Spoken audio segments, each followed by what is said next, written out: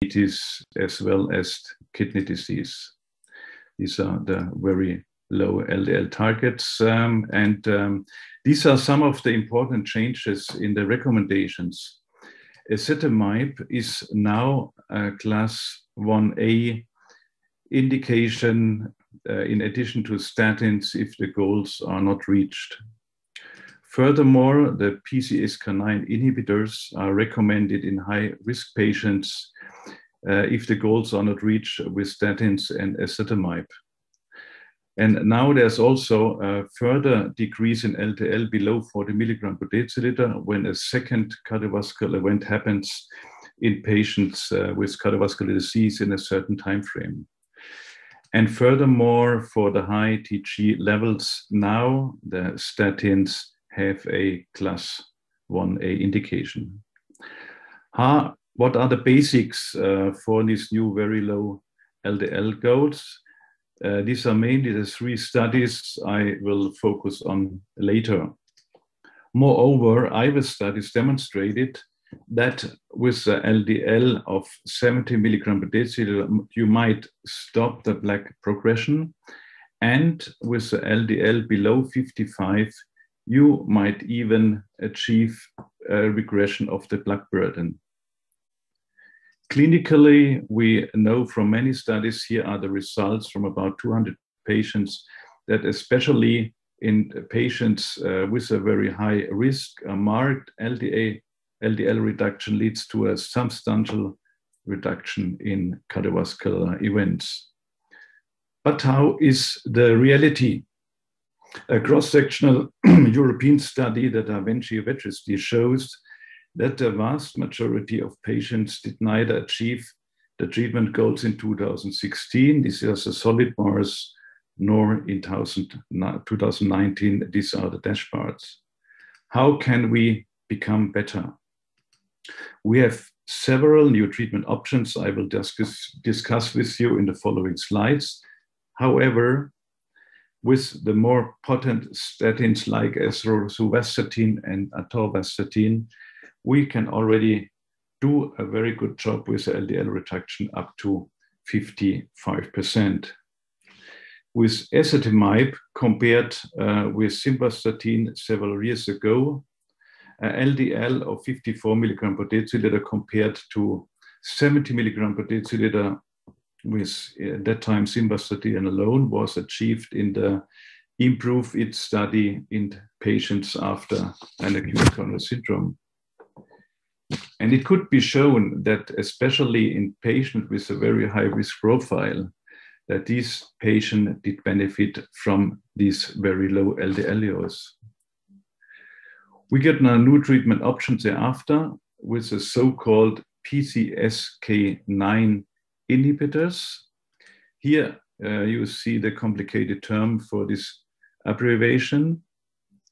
How do they act? The L, the L receptors bind to LDL and uh, remove the LDL particles. Recycled LDL receptors then return to the cell surface to repeat this process. PCSK9 binds to the LDL receptor and promotes their degradation. Inhibiting PCSK9 increases the availability for the LDL receptor to move again the LDL cholesterol from the circulation. You see this came here on the left side uh, in the presence of the PCSK, PCSK9 receptor. Um, PCSK9, the LDL receptor, is degraded in the lysosome. But in the presence of an inhibitor, this LDL receptor can be recycled and returned then to the surface to bind more and new LDL cholesterol. There are two landmark studies showing that this worked. The Fourier trial with evolocumab decreased the mean LDL to 30 milligram per deciliter over a period of about three years, leading to a 15% reduction in the primary endpoint. The ODYSSEY outcome trial with alirocumab showed a marked reduction in cardiovascular events, especially in patient with atherosclerosis in three beds. Again, these are the high risk patients.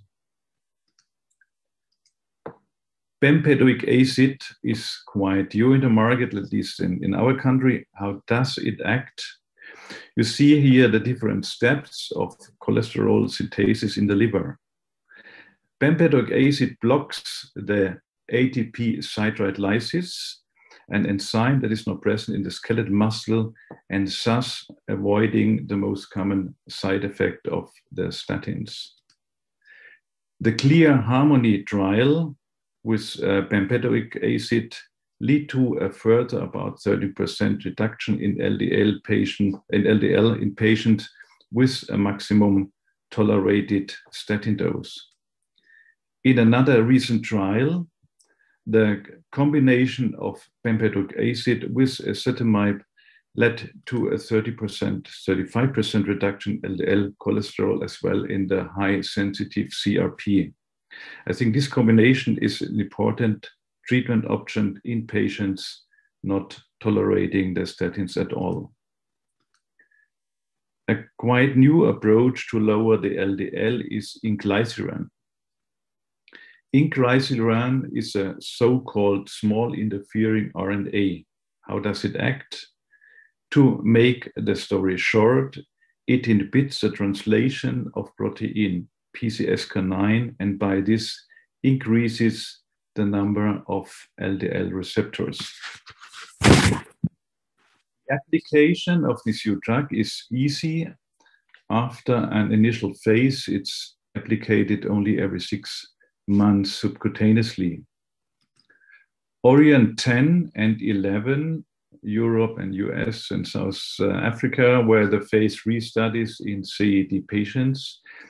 And with a mean reduction in the LDL-C levels of about 50% over four, 540 days, the effect seems to be similar to the PCSK9 inhibitors. One new approach for patients with high TG levels, the launch will be in Europe in the next month in September, with high dose of icosapent ethyl, 4 grams per day, this is a trial, a 25% reduction in high risk patients could be shown over a period of five years, both in primary and secondary prevention. Now, how to reach these LDL targets we have now from the um, we have now from the ESC. With the potent statins combined with ezetimibe or bempedoic acid, we might achieve a reduction of up to 65%, which is sufficient in, in many patients.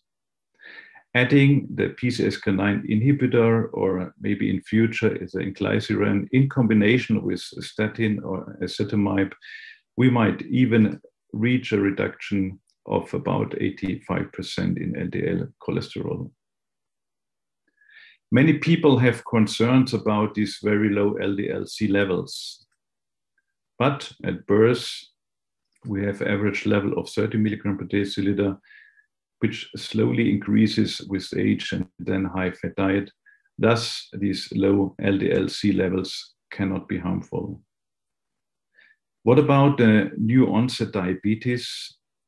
There's only a low and clinically non-significant increase with statins but this is not observed with the PCSK9 inhibitors. How to reach the LDL targets now in the daily practice? Statins and ezetimibe remain the basic therapy. And now use the high potent statins such as atorvastatin and rosuvastatin, and in the patient with a high risk, start early with ezetimibe. The new therapeutic options are mainly reserved for patients who have side effects under the basic and the conventional therapy, and they are reserved for high risk patients not reaching the targets with the basic therapies. And very important, inform the patient and the family doctor about the treatment targets. This will increase the compliance Thank you for your attention. Okay. Thank you very much, Volker. Are there questions? Yes, I have some uh, question for Professor Klauss, please. I have two questions. The first is um, the statin is not indicated for the patients with uh, heart failure. But if the patient has a heart failure and a atherosclerotic cardiovascular disease, and we have to reduce the uh, LDL cholesterol. In this case, the coenzyme 10 has any role? Can we combine it to statin for the patients? Combine, I didn't get Co the whole coenzyme 10. The, the, the bempedoic or the? No, the coenzyme, coenzyme yeah. 10 combined yeah. with the statin for the patients with. With heart failure and ischemic heart disease and ischemic heart disease. Yes, that's right. Okay. okay.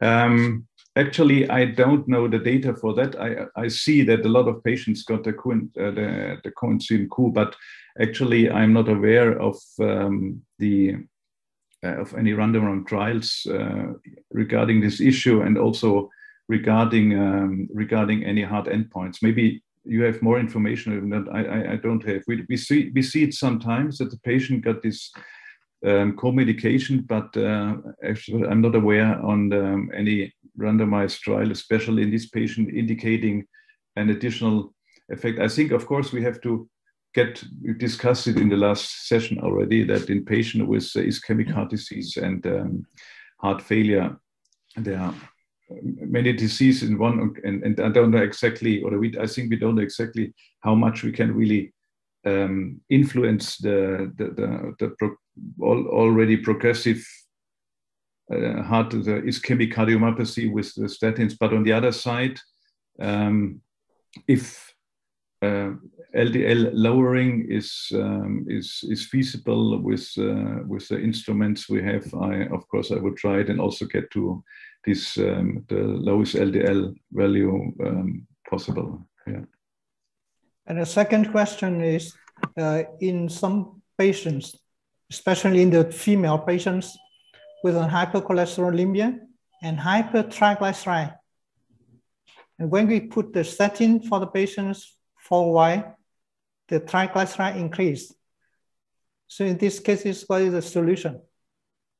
Yeah, sometimes it's, it's, it's question what what um, what is the reason now for the high triglyceride in this patient? Do they have additional uh, diabetes, which is uh, most often?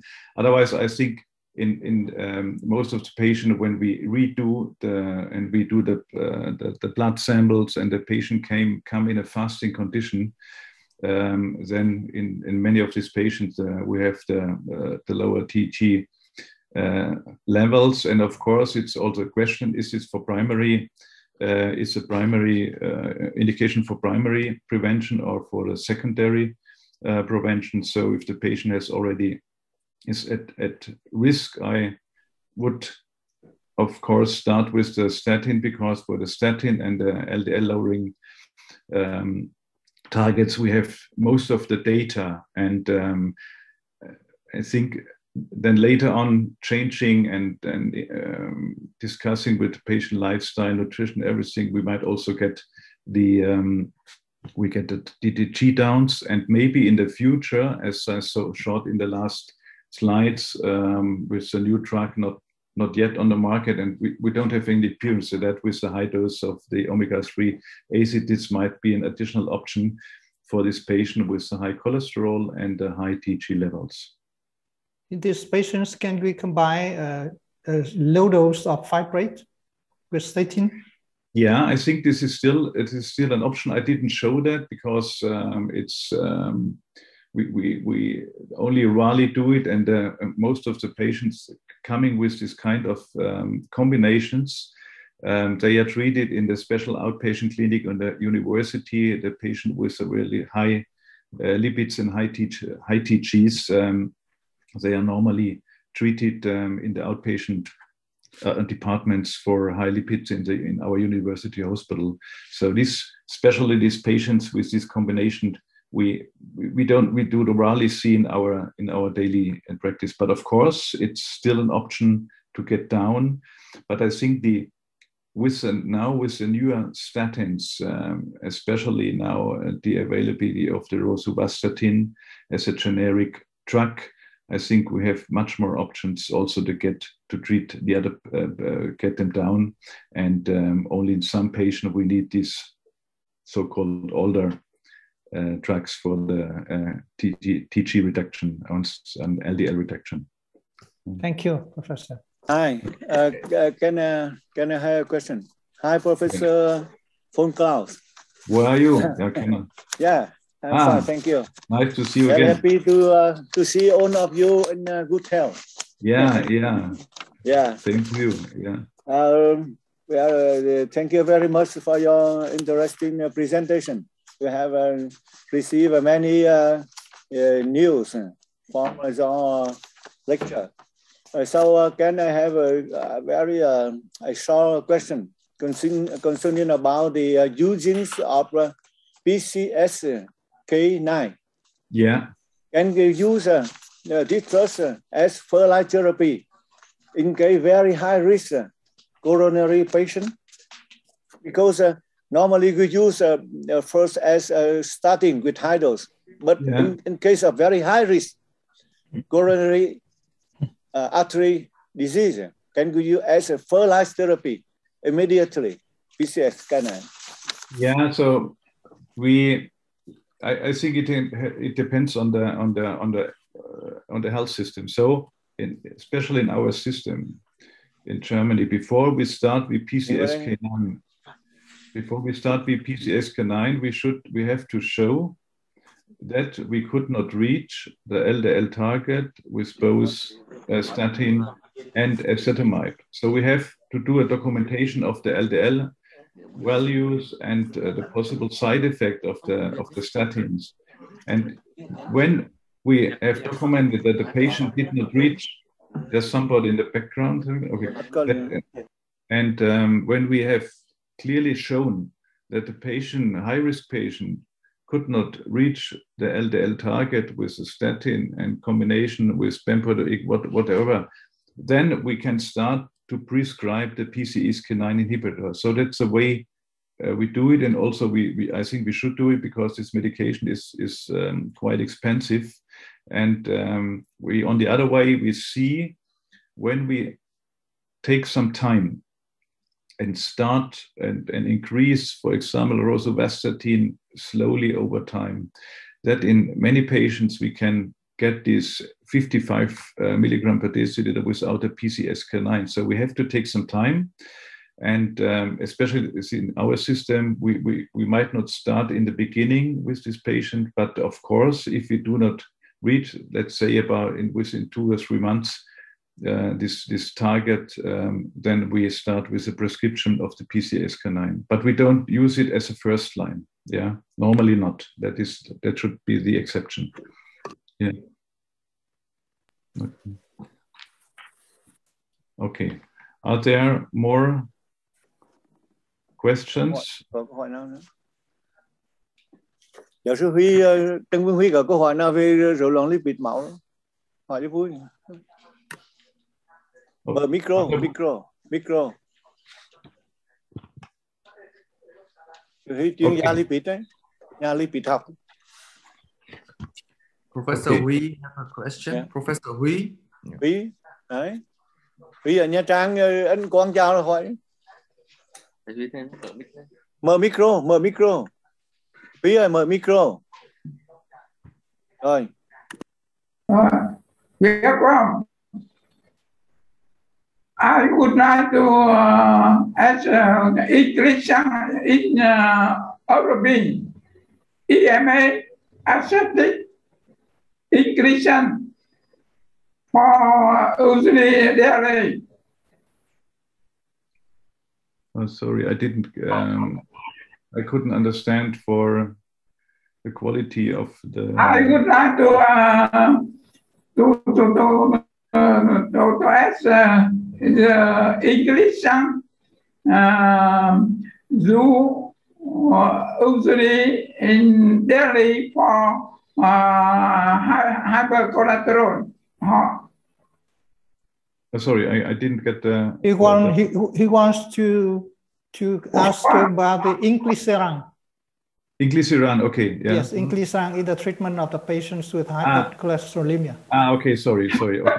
so the inclisiran was um, introduced in, um, I think it was int introduced on our market in, um, I think it was in November. And uh, I listened a lot of conferences, uh, especially on treating regarding hyperlipidemia. And um, to my knowledge, they're only starting now with the inclisiran, and there are only um, uh, few experiences. So um, I think some of the people are still reluctant when they see, okay, every six months, if I have side effect, what happens? Have, do I have the side effect and for six months?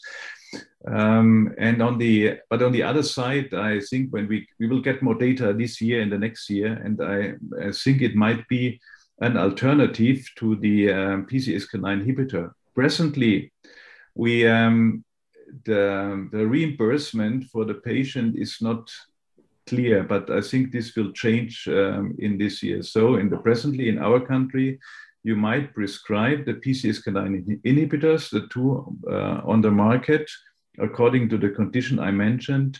And uh, for the inclisiran, um, we have still to wait for the, the, the green light from the insurances.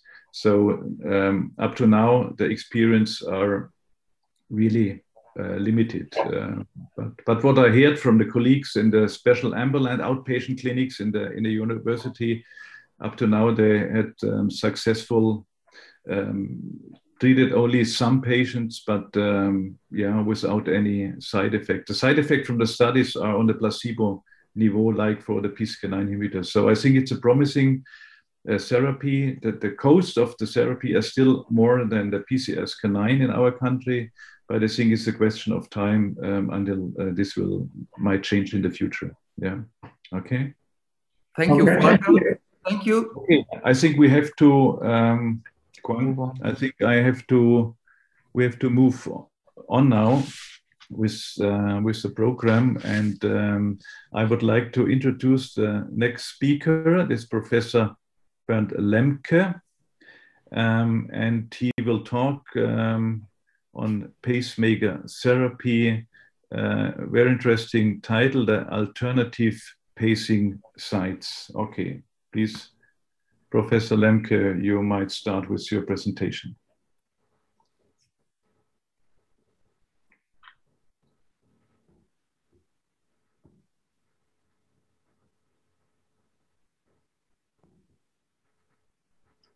So we can see the slides. You are not, you have to um, unmute your um, microphone, Professor Lemke. I think you, you are muted at the moment.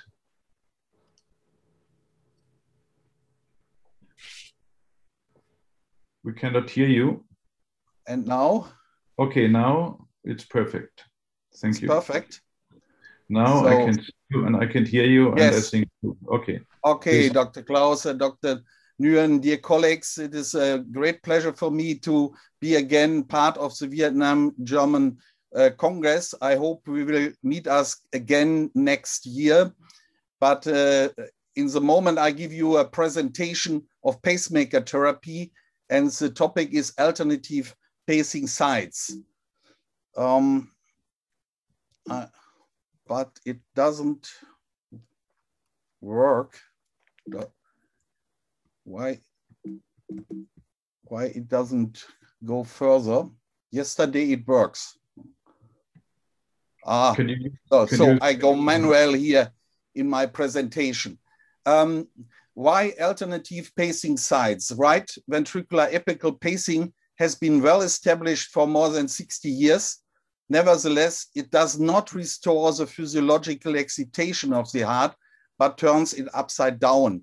It is comparable to ventricular arrhythmias from the apex and the left bundle branch block. While some of the patients survive this non-physiological stimulation for years without damage, other patients develop pacemaker-induced cardiomyopathy.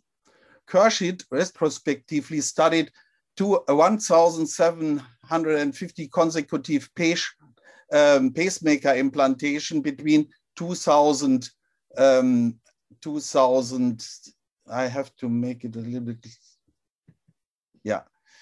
Three and 2012 of uh, 257 patients with frequent uh, RV pacing, 20%, 20% develop pacemaker-induced cardiomyopathy with a decrease of ejection fraction from 62 to 36% over 3.3 years. Therefore, the search of alternative stimulation sites is old as pacemaker therapy. The figure of Arnold illustrates the current landscape of terminology and anatomy of conduction system pacing.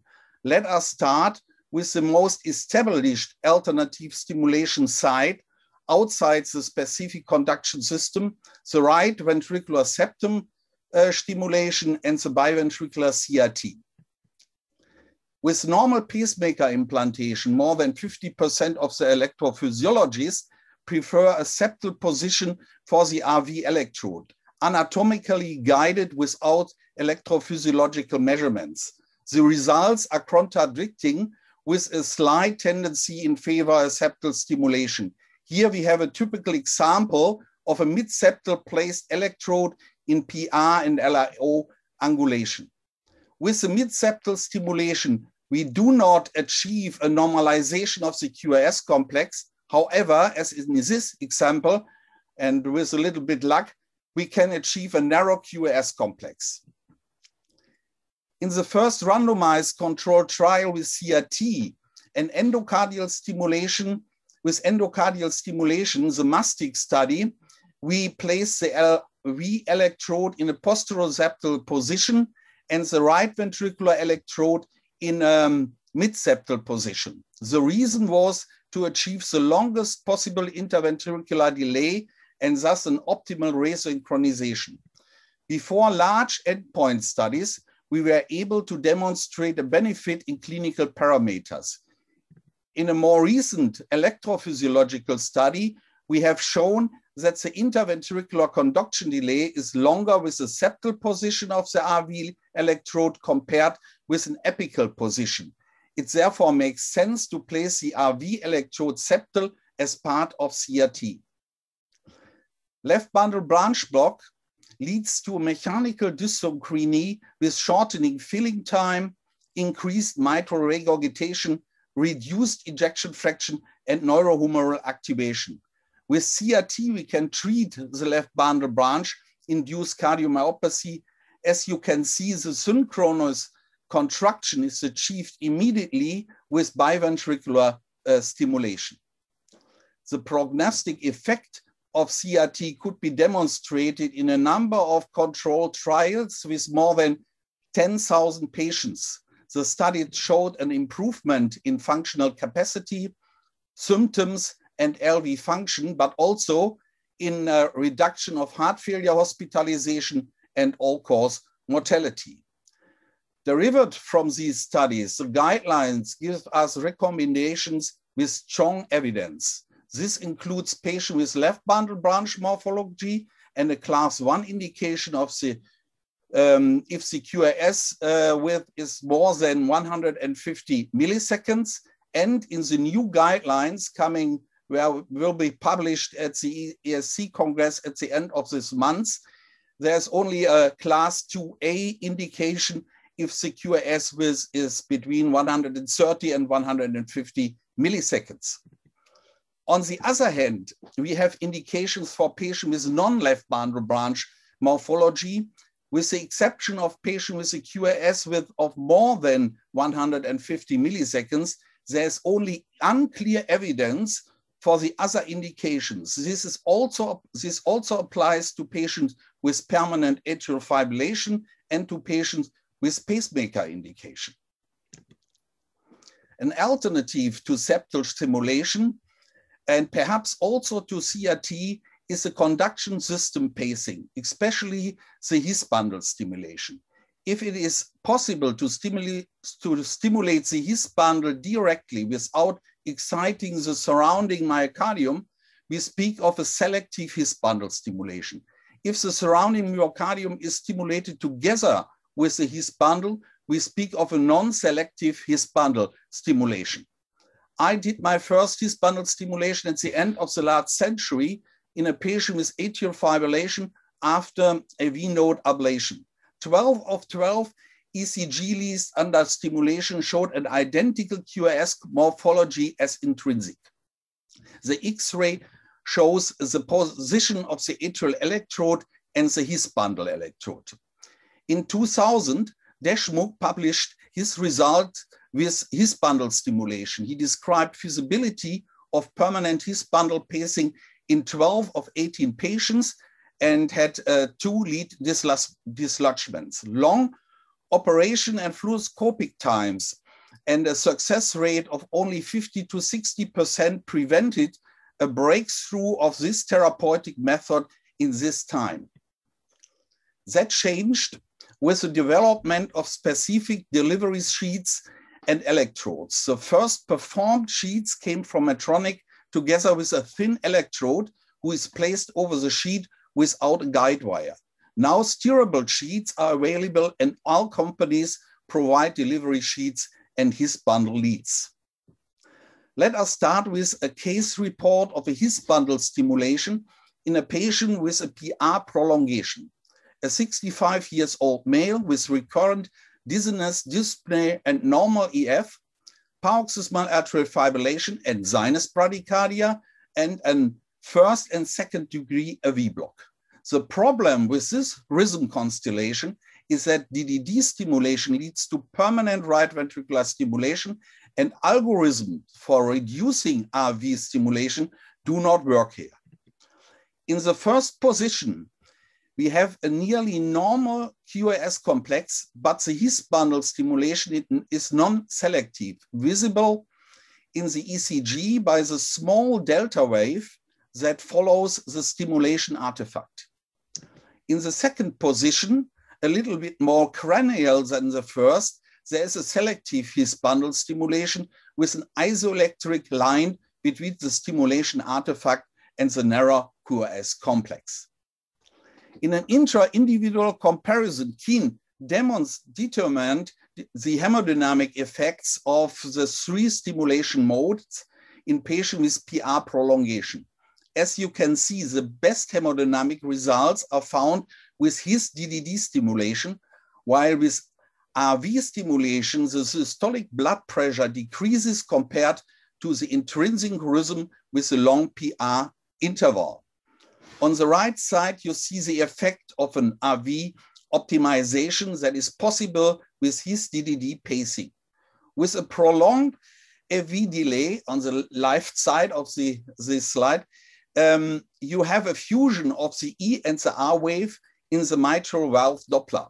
By optimizing the AV and the, uh, the uh, AV time, the A and the A wave separates, bringing the A wave close to the ventricular contraction, in this way reducing diastolic mitral regurgitation and improving cardiac output. In, in patients with heart failure and reduced ejection fraction and AV node ablation, his bundle pacing normalized the ejection fraction over time, whereas in patients with uh, reversed preserved uh, ejection fraction, there is a slight increase in ejection fraction and no decline. Um, a decline is typical in uh, RV pacing after AV node ablation. In uh, this case control study of Abdelrahman, all patients requiring, requiring initial pacemaker implantation between 2030 and 2060 were included permanent his bundle pacing was attempted in consecutive patients at one hospital and RV pacing at a sister hospital. Primary outcome was a combined endpoint of death, heart failure, hospitalization, or upgrade to biventricular pacing. 765 patients were included and a mean with a mean ejection fraction of 54% and a mean follow-up time of two years there was a significant decline of the combined endpoint in all patients with his bundle pacing, especially in pacing with more than 20% ventricular pacing. But remember that it's not a prospective randomized uh, study. So the new guidelines rate the evidence of his bundle pacing and pacemaker indication as a level C and give a 2B indication only in patients with an ejection fraction of more than 40% who are anticipated to have, have more than 20% ventricular pacing. We come to his bundle pacing in left bundle branch block. How is that possible? Upadhyay uh, performed detailed intracardiac mapping of left septal conduction to assess the presence and level of complete conduction block in the His-Purkinje system. A left intrahisian block was found in 46% and a QRS correction by pacing was possible in 94% of these patients, nearly 100%. In um, 80%, the block was localized in the left bundle branch, of which 62% a QRS correction was feasible. In 36%, the block was distal located without a possibility of QRS correction by pacing. In the next case report, I show you a 56 years old male in your class three and an ejection fraction of only 28%. He had a left bundle branch blocked with a QRS width of 172 milliseconds. The intracardiac electrogram over the pacing electrode showed a his potential and a left bundle branch morphology. In the picture in the middle, you can see the stimulation site below the block. A stimulation from this point results in a short QRS complex. The 12 lead ECG gives you the picture of selective his bundle stimulation with a QRS duration of 90 milliseconds and a pacing threshold of 0.75 volt. In another patient with his bundle stimulation and correction of the left bundle branch block, you can see the same effect of resynchronization as we saw in the beginning video with biventricular CRT. In a long-term follow-up study, his bundle pacing showed a stable increase of ejection fraction over time. But this has the price of a high stimulation threshold of average 2.3 to more than 3 volt. The new ESC guidelines therefore recommended in CRT candidates in whom coronary sinus lead implantation is unsuccessful, a class 2A indication for his bundle pacing. Beside his bundle pacing, a new procedure was developed, left bundle branch pacing. The site suitable for direct stimulation of the left bundle branch lies below the bundle bifurcation. It can only be reached by a penetration of the septum. Huang first described the effect of left bundle branch pacing. On the left, you see a left bundle branch block with a QRS duration of 165 milliseconds. On the right, you see a stimulated QRS complex with a QRS width of 104 milliseconds. A, success, uh, a successful left bundle branch pacing results in an incomplete right bundle branch block configuration with a small QRS complex. In the middle, you see the left bundle branch pacing lead, which lies below the his bundle lead and is penetrating the septum. Huang recently published a comparison between his bundle stimulation, left bundle branch pacing, and biventricular pacing. The highest reduction in QRS duration was observed under his bundle pacing and left bundle uh, branch pacing and conduction system pacing showed a higher ejection fraction improvement and a greater response than biventricular pacing. So let me conclude. To avoid pacemaker-induced cardiomyopathy, do not stimulate from the apex, from the right ventricular apex. Um, his bundle pacing could be an alternative for patients with PR prolongation, permanent atrial fibrillation and V node ablation, and patients with pacemaker indication and an expected high ventricular stimulation rate. In patients with heart failure and left bundle branch block, biventricular CRT have been demonstrated to relieve heart failure symptoms, reduce mortality, and prove, improve clinical outcome. Conduction system pacing could be an alternative for patients with heart failure and ventricular dyssynchrony, especially when effective biventricular CRT is not achievable. But his bundle, his Purkinje system pacing demonstrates promising results, but there are no big uh, controlled uh, randomized trials and only short follow-up in most studies to support it for a first-line therapy. Thank you for your attention.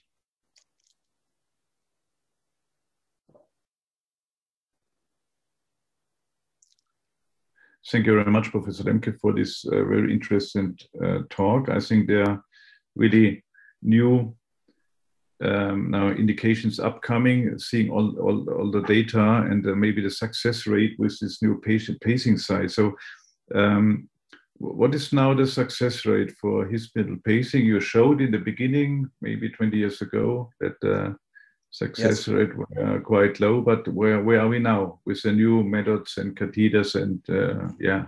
Um, we are now over 80%, I think. Okay. And um, so I, I think it's a possibility uh, for a normal indication, yeah, in patient with uh, total AV block, or for, uh, especially in patient after AV nodal ablation, or one indication is not um, uh, focused in the guidelines that are the patient with a prolonged PR interval.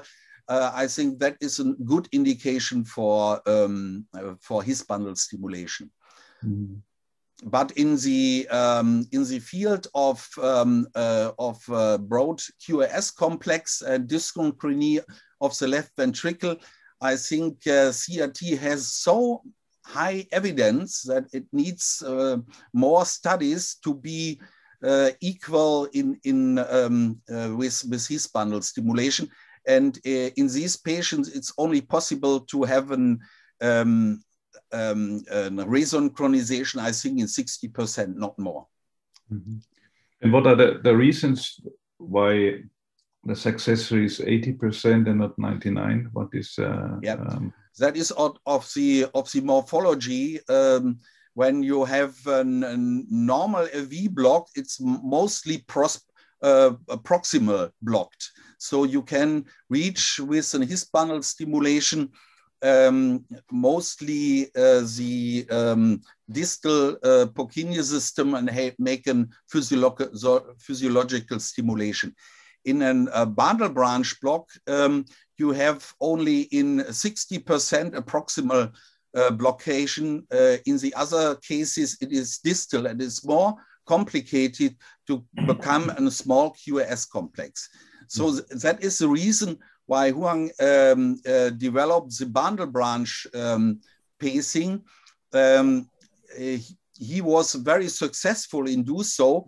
Um, but we in uh, in in Lüdenscheid in Germany we start with this uh, uh, and uh, we were not so successful with the direct bundle branch uh, pacing. So I have not uh, much uh, personal experience mm-hmm. about that. Uh, but it could be in the future, maybe an, uh, uh, a method to solve the problems um, of direct simulation. Is there a higher complication rate also, or only a lower lower success rate? Um, you can, when you go too deep in penetration with the electrode, you make a perforation of the septum. And if this could make uh, um, uh, problems in longer term, we don't know. Mm-hmm. Okay, just okay. Other questions from the from the co-chairs or from the from the audience? Very interesting subject. Okay. Uh, thank you, uh, Dr. Pro Volker Klauss, presentation uh, pacemaker therapy, alternative uh, patient size. Uh, in um, uh, the presentation about right ventricle patient and his bundle patient uh, in uh, heart failure and PR progression. Uh, now, I, in Vietnam, uh, his bundle patient uh, very, um, very um, successful, very about 8% Now, I would like, uh, can you tell me about uh, successful race, about bundle, bundle pacemaker, bundle uh, because uh, bundle uh, have a uh, have a um, uh, outside uh, uh, outside uh, position, uh, and uh, can you tell me about uh, step procedure procedure burn burn uh, uh, his bundle uh, step and step? Can you tell me? Um, in Germany, I think uh, the, the percentage is um, below 8%. Uh, we, we were really in Germany starting uh, with uh, this procedure and we adapted uh, this procedure in our quality uh, procedures in Germany. We have to do a national-wide registry of the procedures and it is now included the HIS bundle stimulation. I cannot give you the exact number now. Uh, I have to wait for the next year when when we have the first data about it. Uh, but I I think we it is less than eight percent in Germany now. And with bundle branch pacing, um, the most uh, centers um, are begin uh, at the beginning in Germany. Yeah, so it's a very very individual experience what we have, and my experience is not so so great. Um, uh, I have have had a problem to to penetrate the septum. It was not possible in uh, in many cases to stabilize the the, um, the guiding catheter at the septum and to penetrate uh, the the electrode. Uh, so um, I don't reach uh, the specific um, conduction system on the on the left side. But I, I think theoretical and the, the, um, the data uh, from China are very good. Uh, I think that is a method we have to, to look for, yeah, to give have more experience and maybe then a higher success rate, uh, rate in this field. Thank you. One more short question. Is there? Okay, yeah, um, yeah, I'm Dr. Pham from the Hanoi Hospital. Yeah, uh, in fact, that in Vietnam, uh, when we do the HIS bundle testing, it's it uh, more cheaper than compared with the CRT, and then the the cost is only half compared with the CRT. And then you think that uh, HIS bundle testing can can replace OM for the you know CRT or not? Um, HIS bundle pacing is possible. Um, uh, uh, uh, as an alternative to CRT, I think in 60% of the patient. And uh, my friend um, um, uh, Carsten Israel in, uh, in Bielefeld, he has much experience about this. Yeah, we do it only as a second line therapy in patients with a CRT indication. Maybe I'm a pioneer of CRT therapy, and um, uh, for this um, to switch to another method is not so easy. But when when you not able not able to uh, place the uh, electrode in a coronary sinus vein, um, then we at first go to uh, try uh, to make an HIS bundle stimulation before we uh, make an indication for an epicardial um, placement of the electrode. Yeah. Okay. In fact, that when we do the, the, the HIS bundle in some case we, we can fail. Yeah, I think yeah. that about 10% we can fail, right? And then uh, almost case we, we not get a successful. And second okay. question about the uh, okay. neck bundle brains uh, pacing. Yeah, we saw a lot of data from the China. Yeah, yeah. about the, you know you know that can improve the high follower. Yeah, but uh, what do you think about about you know that's the the future of this?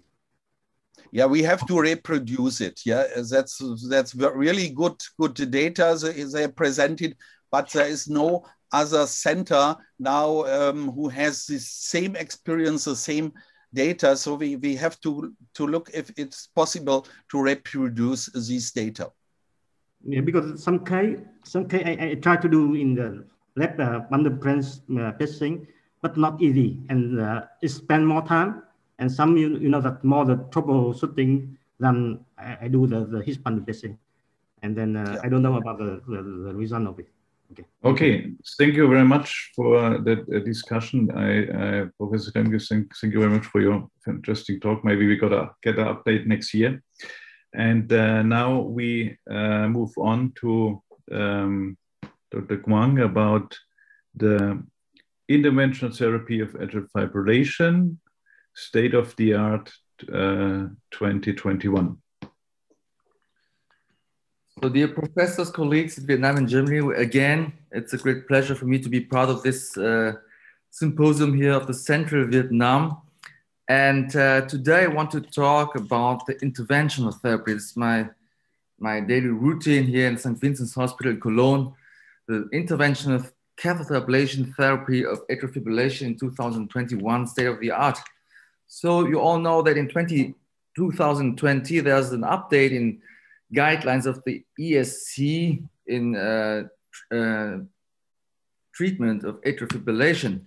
And uh, you can see here that catheter ablation, atrial fibrillation, pulmonary vein isolation is a clearly class one indication also in paroxysmal atrial fibrillation, persistent fibrillation, and also in persistent atrial fibrillation with major risk factors. And now, what is the cornerstone of catheter ablation of atrial fibrillation? You all know the STAR AF2 study, and this study have compared ablation of persistent atrial fibrillation and uh, have divided the patients in three groups.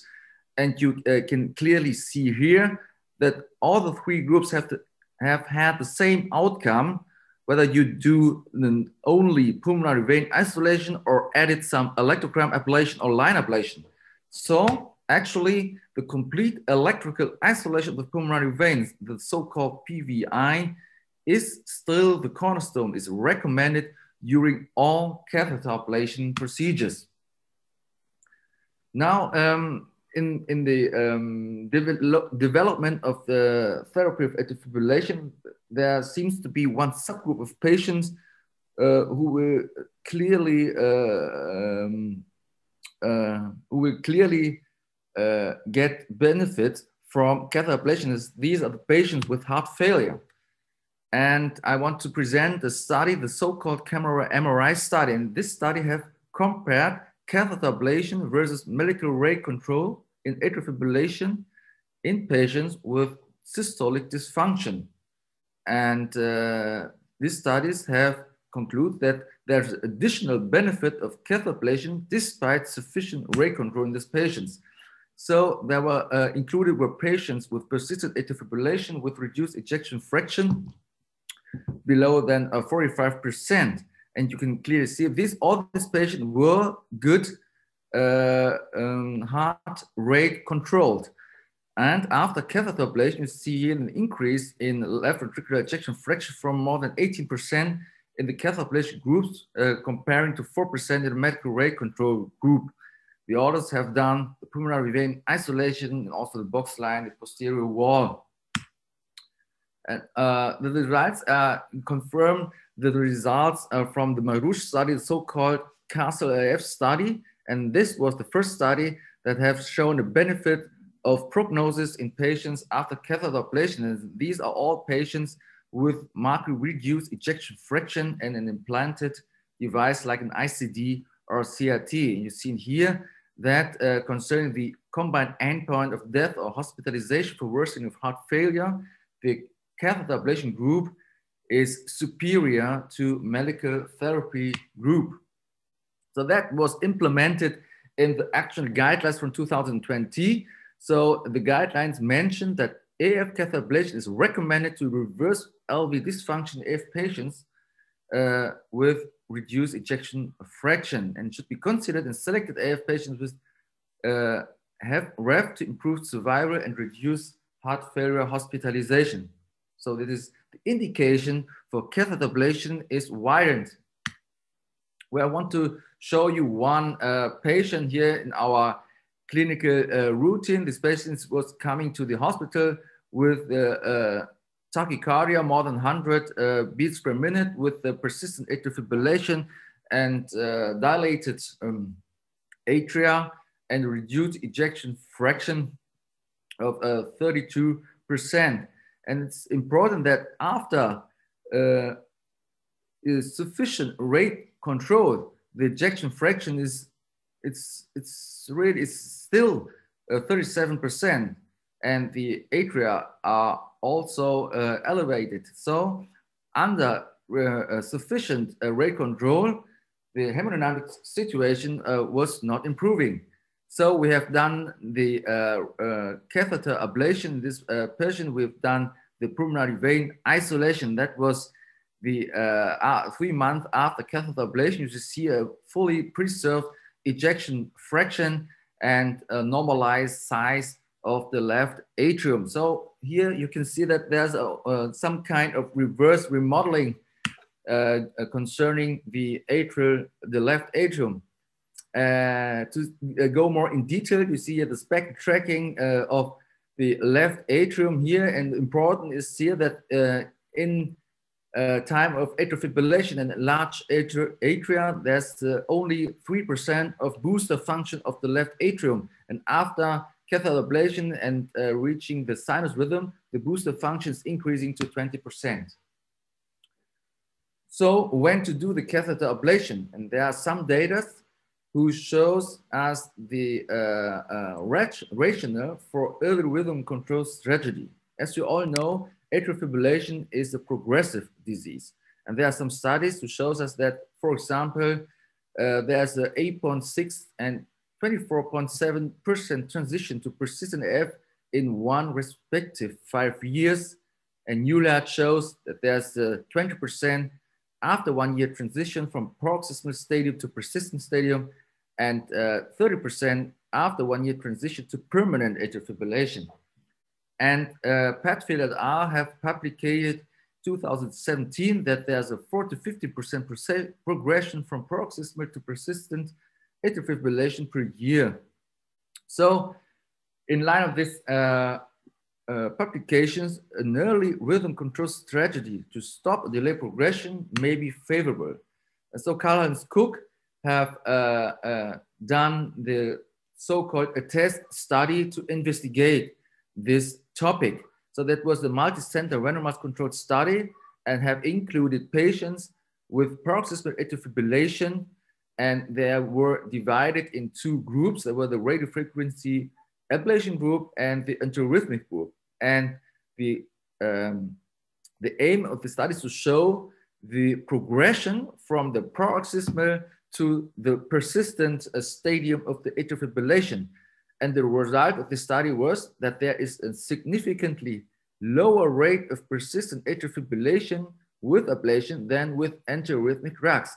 So the development from paroxysmal to persistent forms of atrial fibrillation can be delayed or stopped by an early catheter ablation procedure. So in conclusion, in patients with refractory paroxysmal atrial fibrillation, early radio frequency ablation was superior to antiarrhythmic drugs in delaying progression of persistent atrial fibrillation. In line of this, uh, there was the uh, so-called EAST study published last year from the uh, Kirchhof and uh, group uh, that was the early control therapy in patients with atrial fibrillation study. And this study have uh, uh, include a large number of patients, more than 2,800 patients, 2,800 patients, and who were divided in rhythm control strategy and in usual care, that means that uh, the vast majority in the uh, rate control uh, group. And uh, there were screen randomized uh, treatment and there was the long time follow-up, yeah, nearly eight years follow-up. And the uh, results were impressive. The, there was a, con a combined endpoint of death of cardiovascular cause, stroke, ACS hospitalization with worsening of heart failure. There was a significantly uh, uh, superiority of rate control strategy comparing to uh, uh comparing to usual care, comparing to uh, uh, there was a superiority of rhythm control strategy comparing to rate control strategy in this um, in this study. But the study was there was the patients were there was a common group of uh, rhythm control that was not a specifically catheter ablation study. But here we can see that the, uh, the, the, rate control strategy may be favorable. So at the end of my talk, I want to uh, uh highlight uh, some new technology in catheter ablation. And there, uh, as to, the, to now, there are two energy forms that was that is the radio frequency uh, uh, energy and the cryothermal uh, energy who were used in the vast majority of the catheter ablation procedures worldwide. But there's a, a, new energy form upcoming that was the so-called, that is the so-called pulse field ablation, the so-called PFA. And um, pulse field ablation has the potential to combine a high ablation success rate with no or minimal complication.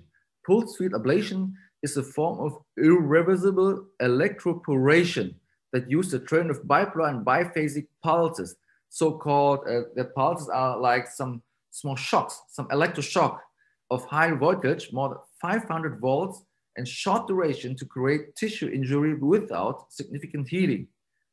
And the mechanism of lesion formation in uh, electroporation is a function of electric field exposures that break down cell membrane. We want to reach uh, uh, the cell membrane uh, uh, damage leading to cell death. And the unique feature of pulse ablation, tissue specificity, myocardium is very susceptible to irreversible injury, whereas the esophagus, phrenic nerve, pulmonary vein, and coronary arteries are relatively resistant to injury. That is a very important aspect that the pulse field ablation has some kind of tissue uh, specificity. This is the catheter this uh, from the um, Medtronics um, Corporation. Uh, this is the uh, circular catheter with uh, gold electrodes, and uh, we are do some uh, kind of um, repeated pulses here, and all the cycle of the pulses is uh, only 36 milliseconds. And so after two or three cycles, one cycle is only 36 milliseconds, it is, was possible to eliminate here all the PV potentials after this ablation with uh, ablation. So that was very impressive uh, data that uh, you can reach pulmonary vein isolation after a few seconds of pulse field ablation. That was a histological section of a porcine uh, atrium two weeks after pulse field ablation. You see here the, the, the, the, the sharp, the sharp uh, uh, scar here after ablation and the epicardial fat and the, the arteries here, there were, there, there were no damage. There was absolutely intact. And so that shows that the field ablations is tissue, uh, has some kind of tissue specificity. Now, uh, Vivek Reddy have uh, uh done some uh, uh, some work and some follow up after after patients undergoing field ablation, and has shows a very good safety profile with only one uh, complication in uh, more than 80%, uh, and they have no severe uh, complications like esophageal lesions or phrenic nerve, phrenic nerve damage or pulmonary vein stenosis. Remapping these patients uh, with uh, 3D systems shows a very sharp here uh, isolation line of the pulmonary veins uh, Uh, and uh, important that the uh, lesions and the clinical outcome is very high. The lesions uh, may be should may be very durable. So Vivek Ravi could show us more than 85% of success rate after one year. So this, in my, in my opinion, this is a promising uh, new feature in pulmonary vein isolation. So ladies and gentlemen, let me summarize. Uh, regarding new EC guidelines 2020, 20, there's an upgraded recommendation for catheter ablation. So defining structural and functional left atrial values is crucial for individualized substrate-based ablation strategies. So early rhythm control strategy may be favorable. And there's an improved outcome after catheter ablation in patients with heart failure. And concerning new technologies, the pulse field ablation PFA is a new energy form and have promising data for pulmonary vein isolation. Thank you for your attention. Thank you very much, uh, Dr. Quang, for your presentation. And there is a perspective for early ablation uh, as compared to anti-arrhythmic uh, drugs in prevention of the heart failure. But uh, what do you say um, about early? How early? Mm. Is there a scoring system to? Yeah actually, uh, thank you for this uh, good question, but actually there's no scoring system because early, uh, as so we we should think about that. Early means uh, as early as possible because okay, from the from the first uh, from the first diagnosis, it's too early. But when a patient is coming and he has a symptomatic atrial fibrillation and have two or three recurrences of atrial fibrillation, so you can sit with the patients and discuss about the, uh, the therapeutic uh, options. And when you know that, that the early ablation can stop or can delay the, the, the progression from, from paroxysmal to persistent in young patient, maybe the patient is uh, 40 years or, or 40, 50 or 60 years. So you can discuss with him to ablate the atrial fibrillation after two or, or three recurrences of, uh, of atrial fibrillation. So uh, we have to discuss with the patients about effect, effectiveness and the cost and risk. So what is the risk of the ablation? So we have a, uh, open the indication. There's a nice study uh, from um, there's a nice uh, study from my friend uh, Chun. He has shown that uh, that the uh, pulmonary vein isolation with a cryoballoon after three years is very cost effective. This is uh, the, more cost effective than medical treatment of uh, atrial fibrillation. That was the first question. Also, uh, the, the pulmonary vein ablation with uh, a, a, a is very cost effective. And of course, you have to discuss the complication rate of uh, the patient. There are severe complications like a stroke, like uh, esophageal uh, injury, like uh, uh, tamponade. But uh, with the new device, see, for example, the, the, the cryoballoon device and with the new 3D uh, systems with uh, uh, with high density mapping and and also new catheter design with force force measurement during the ablation, the severe complication is actually very very low. It's uh, below than uh, one percent in uh, in normal cases with atrial fibrillation, and so in in this so so that I can summary that also in young patients we can uh, we can perform the atrial fibrillation with a very uh, low uh, complication rate. Thank you, Dr. Quang. Okay. Yeah, one, one, uh, one question. It's yeah. Was good afternoon, good afternoon, uh, Professor from uh, Germany. Yeah. So I would like to ask you one question to uh, Professor Dinh Quang Nguyen. So I am very uh, interesting about your presentation. A lot of the technologies uh, from the ablation of atrial fibrillation. And so in your presentation, you mentioned the new techniques for pulse field ablation. So uh, what is the disadvantage of uh, pulse field ablation? The disadvantage, yeah. Yes. Okay. The the the the. I show you. I, in my opinion, there's very uh, much advantages. There are less disadvantages of this of this um, of this uh, new one of the one of the um, uh, possible disadvantage is that, that you have uh, always uh, have uh, uh, uh, that in some in some case you have only um, a circular ablation with one energy level. So you know that uh, in the pulmonary vein, uh, um, for example, in the left pulmonary veins, you have anterior at the ridge side, you have very thick tissue, and in the posterior wall, you have very thin tissue. And with one and with one shot of the circular catheter, you have only one energy level, only uh, uh, for all for anterior and posterior wall. And so, so that is uh, maybe a possible disadvantage um, of uh, this technique. Thank you. Okay, thank you very much, Dr. Quang, for this overview and uh, the news, uh, the good news on um, pulmonary vein isolation. And we might now switch to the next speaker, Dr.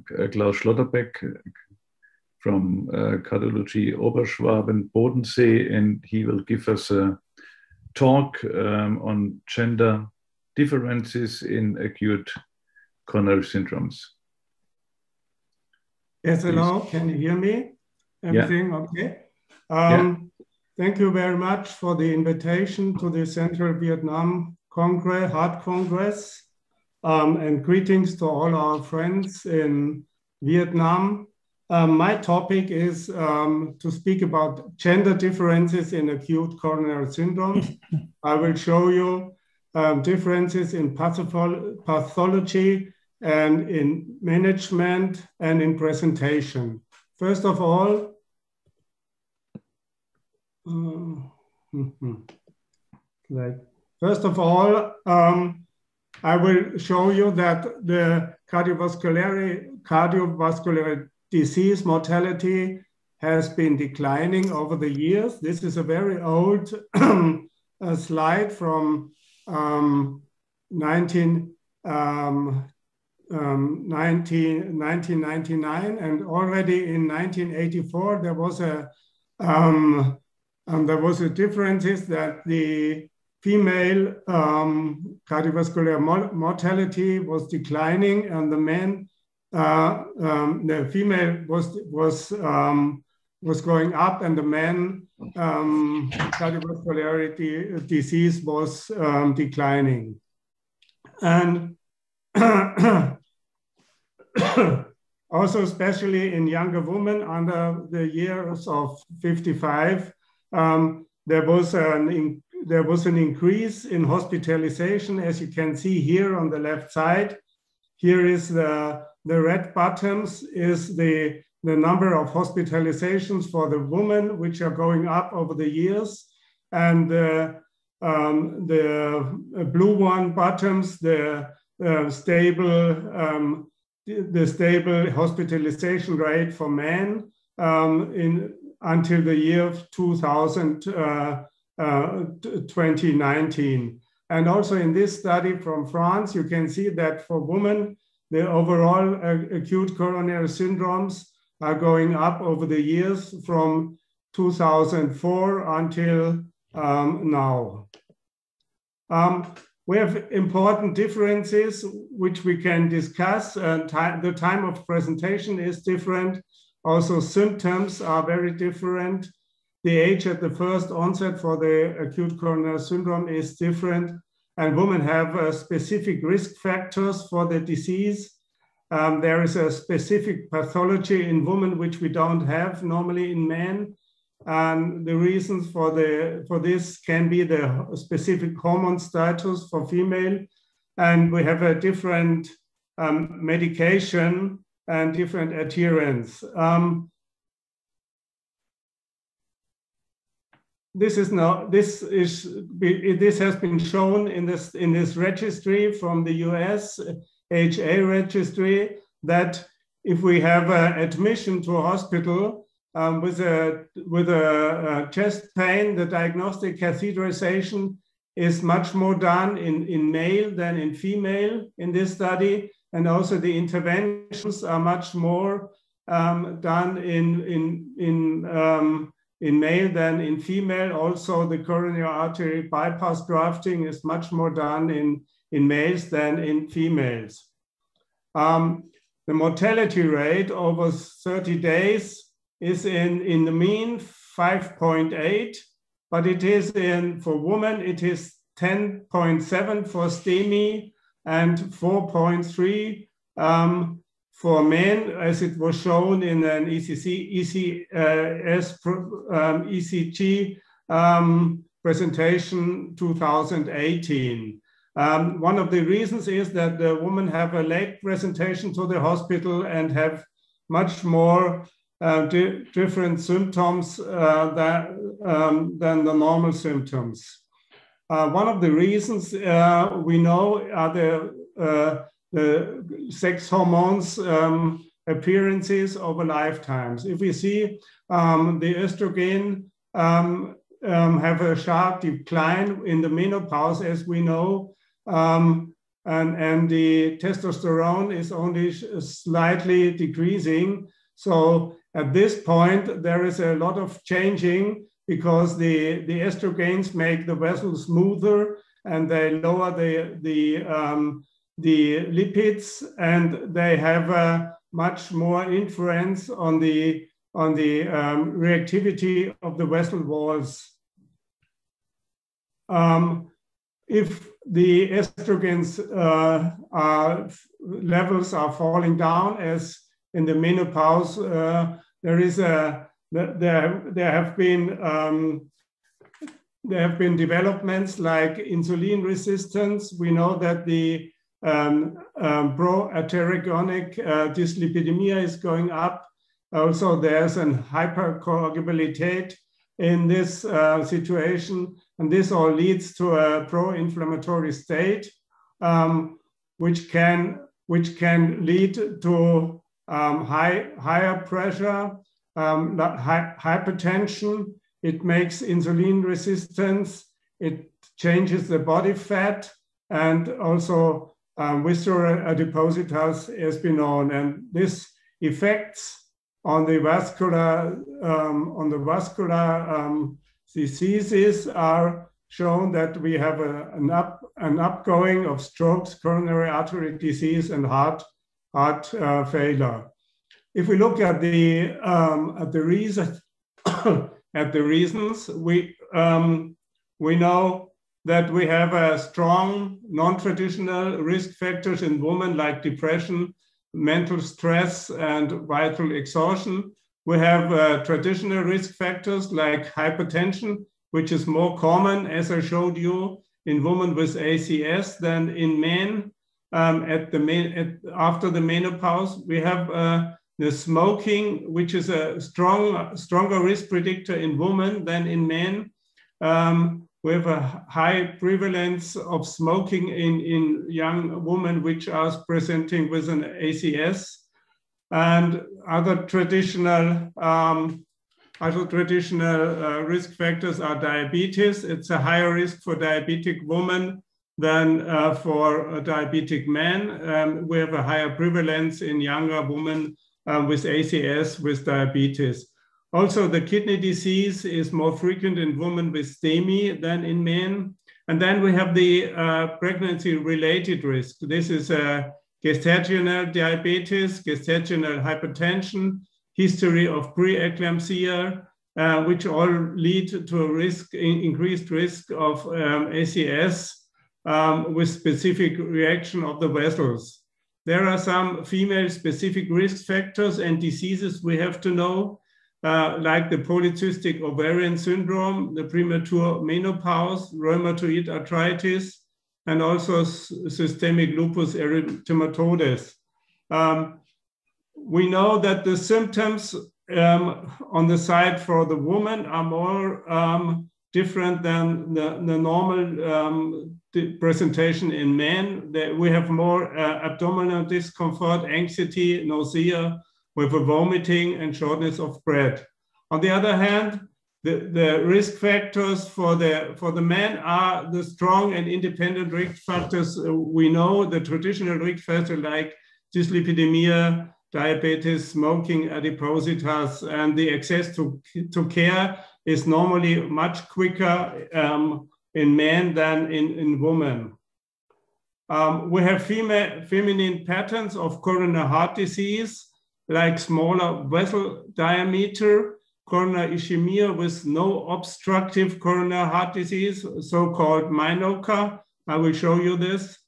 And we have uh, um, the microvascular um, coronary disease, uh, the so-called small vessel disease, more in women than in men. And we have a more diffuse manifestation with a worse, worse prognosis in women, as I show you here on these pictures below. There is a shown that there is a more diffuse arteriosclerotic um, disease in women, that, whereas uh, for men we have a focal stenosis, which is typical. We have less calcification in women than in men, more soft, soft plaques, and the, the, one of the reasons uh, also is the vasomotor and disturbances, which can also be the reasons for chest pain without any coronary artery uh, stenosis. Um, the appearance in acute coronary syndromes normally for women are the NSTEMI much higher than in, in, in men, um, as shown here. And the so-called MINOCA is um, the myocardial infarction without coronary artery disease. And in men, we have typically the, uh, typically the presentation with a STEMI. Um, what is the um, differences of um, MINOCA? It's a myocardial infarction with non-obstructive coronary artery disease. So the patient is presenting with signs of um, acute myocardial infarction. Is they are troponin positive. And in the, in the coronary angio, there is a non-obstructive coronary artery disease. So per definition, um, stenosis below 50%.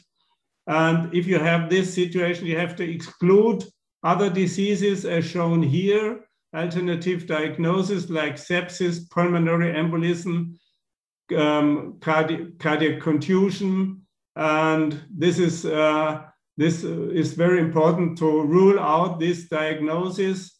Also, we have specific uh, diagnosis um, which can have the same presentation like myocarditis and uh, Takotsubo cardiomyopathy. I will show you. So if you work up um, this, um, this, this disease, uh, you, you take, uh, you have to do a coronary angio, you have to do uh, coronary vascular imaging, eventually functional assessment. Um, one of eight uh, women with myocardial infarction present with a MINOCA, and this is about 5% in the overall um, um, myocardial infarction. This is an example. There, is a, there was a patient presenting with this ST elevation then the angio showed no significant coronary artery disease, but when we do an OCT, you see there is a small uh, plaque rupture has been in this, um, in this patient. Um, here is shown um, what are the differences in, in, um, in presentation and in, in pathology. The type 1 ACS, uh, is the so-called STEMI, uh, which is more dominant in men with hypertension, dyslipidemia, diabetes. And we have here uh, the, the arteriosclerosis and the plaque rupture, the typical plaque rupture, and then the thrombosis.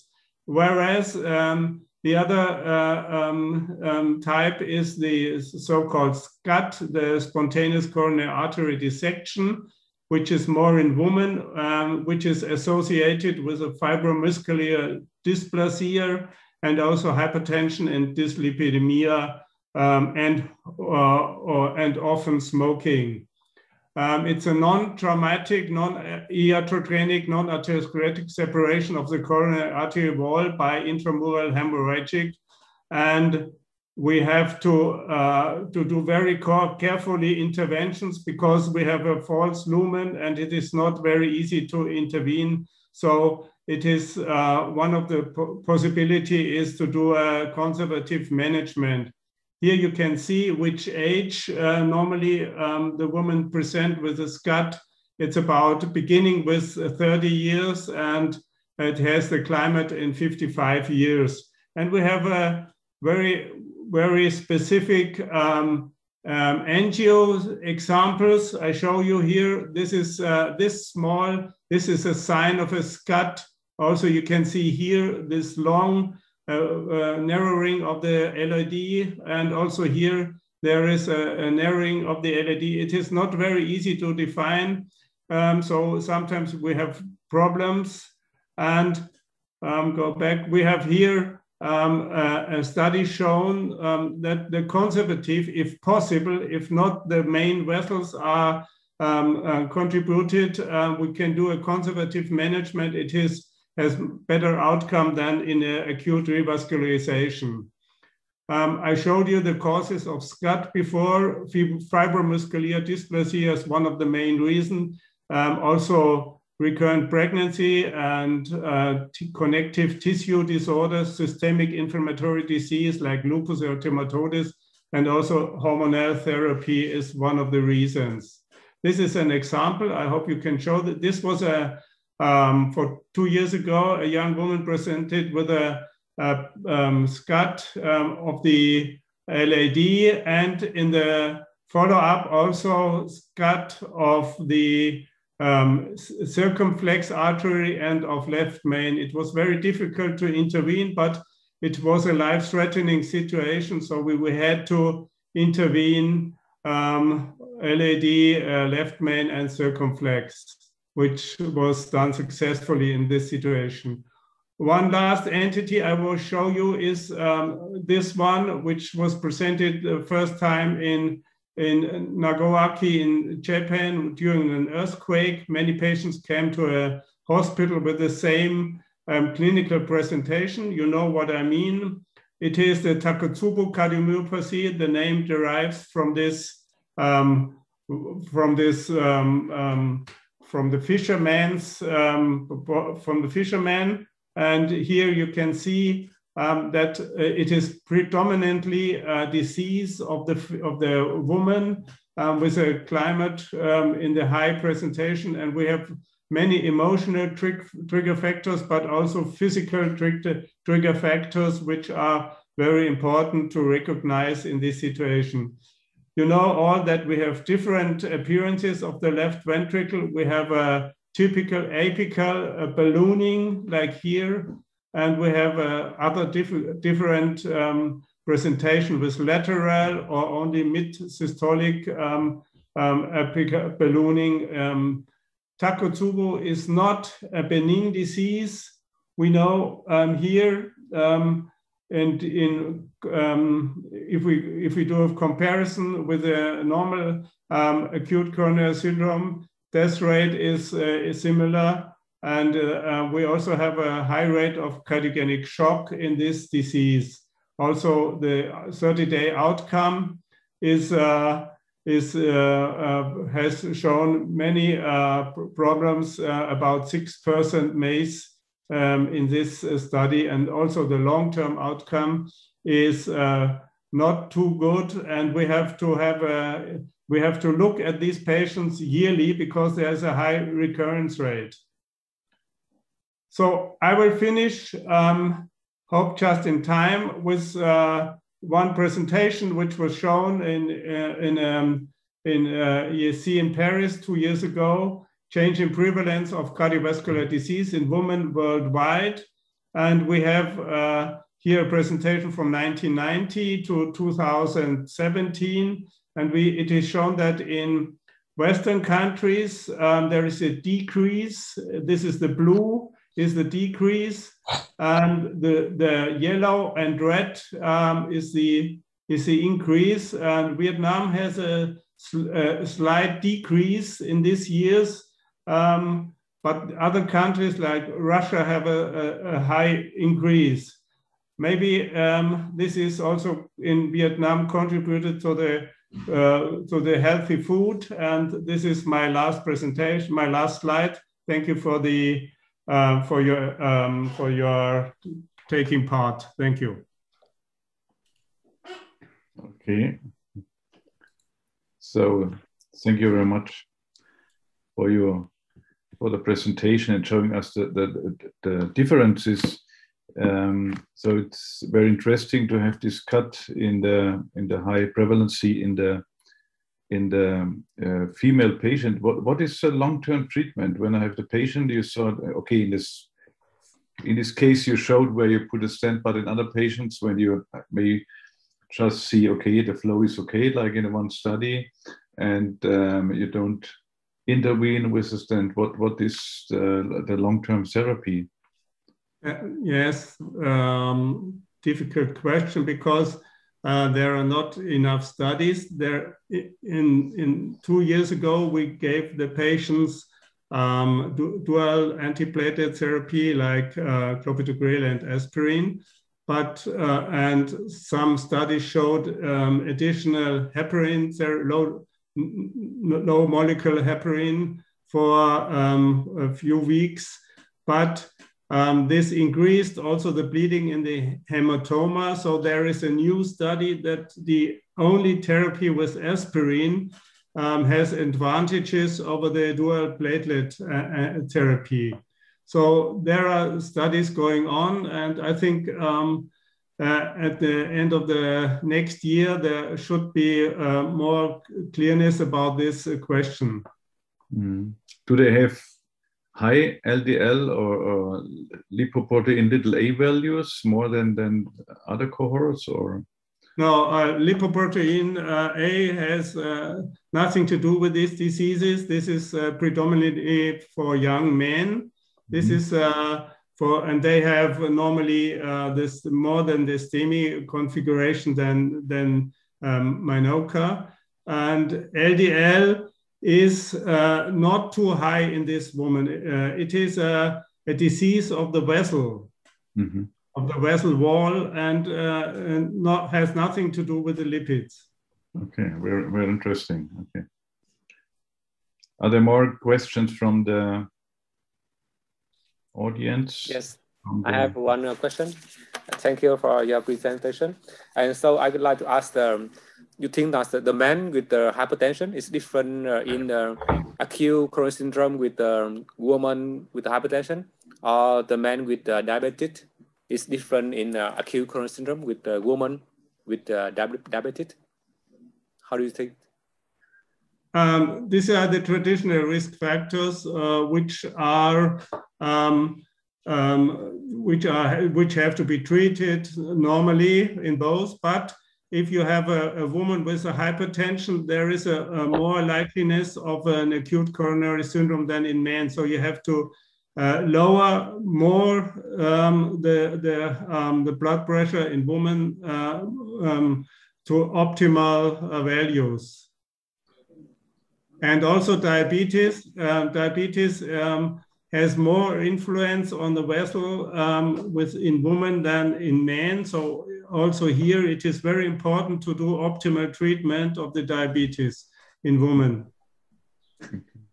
And, and how about um, uh, the lesion, lesion in the coronary artery lesion, is it, is it different from the man with the hypertension and the woman with the hypertension? Um, can be, uh, woman can have more um, di diffuse uh, diseases and also can have this, um, this spontaneous coronary artery dissection um, with hypertension as whereas because they have uh, smaller vessels and they have the vessel wall is different and men um, have more um, the plaque rupture than and the, the STEMI configuration, yes. Yeah, thank you. One more questions? If not, thank you very much, Klaus Schlotterbeck, for your talk. And uh, we move on to the last presentation given by Professor Vogt from Zurich, Swiss on aortic surgery. Please, Professor Vogt. Okay. Uh, can you see my uh, my slide? can see your slide and yep. we can hear your voice. Yes. Okay, good. Okay. Uh, uh, well, I'm very happy uh, to see you all, even though only uh, by webinar. And uh, of course, thank you very much for the invitation. Uh, greetings to our colleagues in Vietnam and of course also greetings to my colleagues in Germany, which are uh, a bit closer. So I was asked uh, to give a summary about aortic surgery. This is dynamic and uh, a challenging topic. I will talk about the greatest catastrophe in, uh, in aortic surgery, that's type A dissection, section, then about the most extensive surgery, thoracoabdominal aortic aneurysm repair, uh, show you some clinical, um, some, some, patients, and then with my last slide, um, I will show the, the res current results and the indication. So what you can see here, it's a typical picture of acute ascending aortic dissection, so-called type A dissection, uh, with the hematoma in the adventitia of the ascending aorta, which you can see here. And this is a very old picture, but uh, still it's true. It's from 1972. You can see from 100 patients with acute type A dissection, 2% are going to die um, every hour. And the survival rate still is about 90 to 95% without surgery. Usually uh, it's about rupture of the ascending aorta and the patients are going to die from uh, pericardial tamponade. Uh, this is uh, the cumulative mortality rate uh, distributed between acute type B and type A dissection in patients treated surgically and treated medically.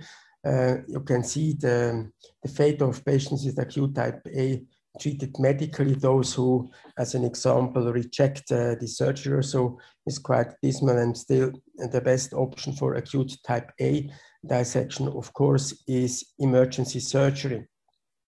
So how you have to organize if you uh, uh, have a patient with acute type A dissection, what we are doing is uh, we go from the ambulance directly into the operating theater. A transesophageal echocardiography and even a transthoracic does suffice.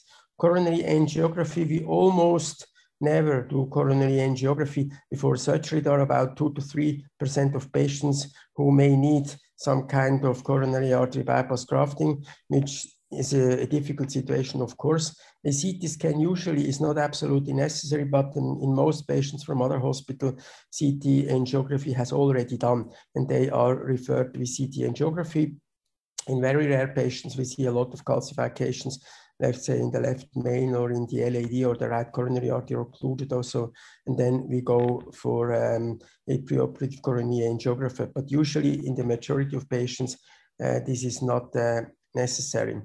So there are so-called uncomplicated type A dissection. That means there is no organ malperfusion.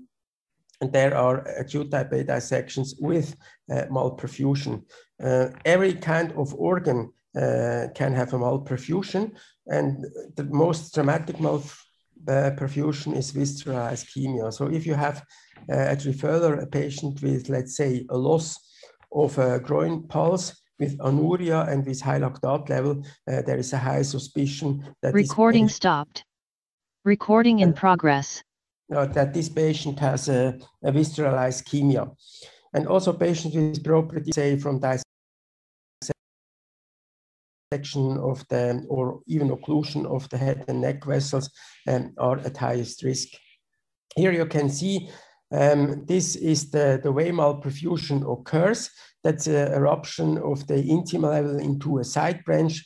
And the side branch can still have some blood flow through the true or the false lumen, or it can be a, um, a complete uh, stop of blood. There was one patient, you can see here the, the, the complete intima cylinder from the ascending aorta and the arch uh, was pushed down in the proximal descending aorta. Normal perfusion in type A dissection can cause any kind of symptoms.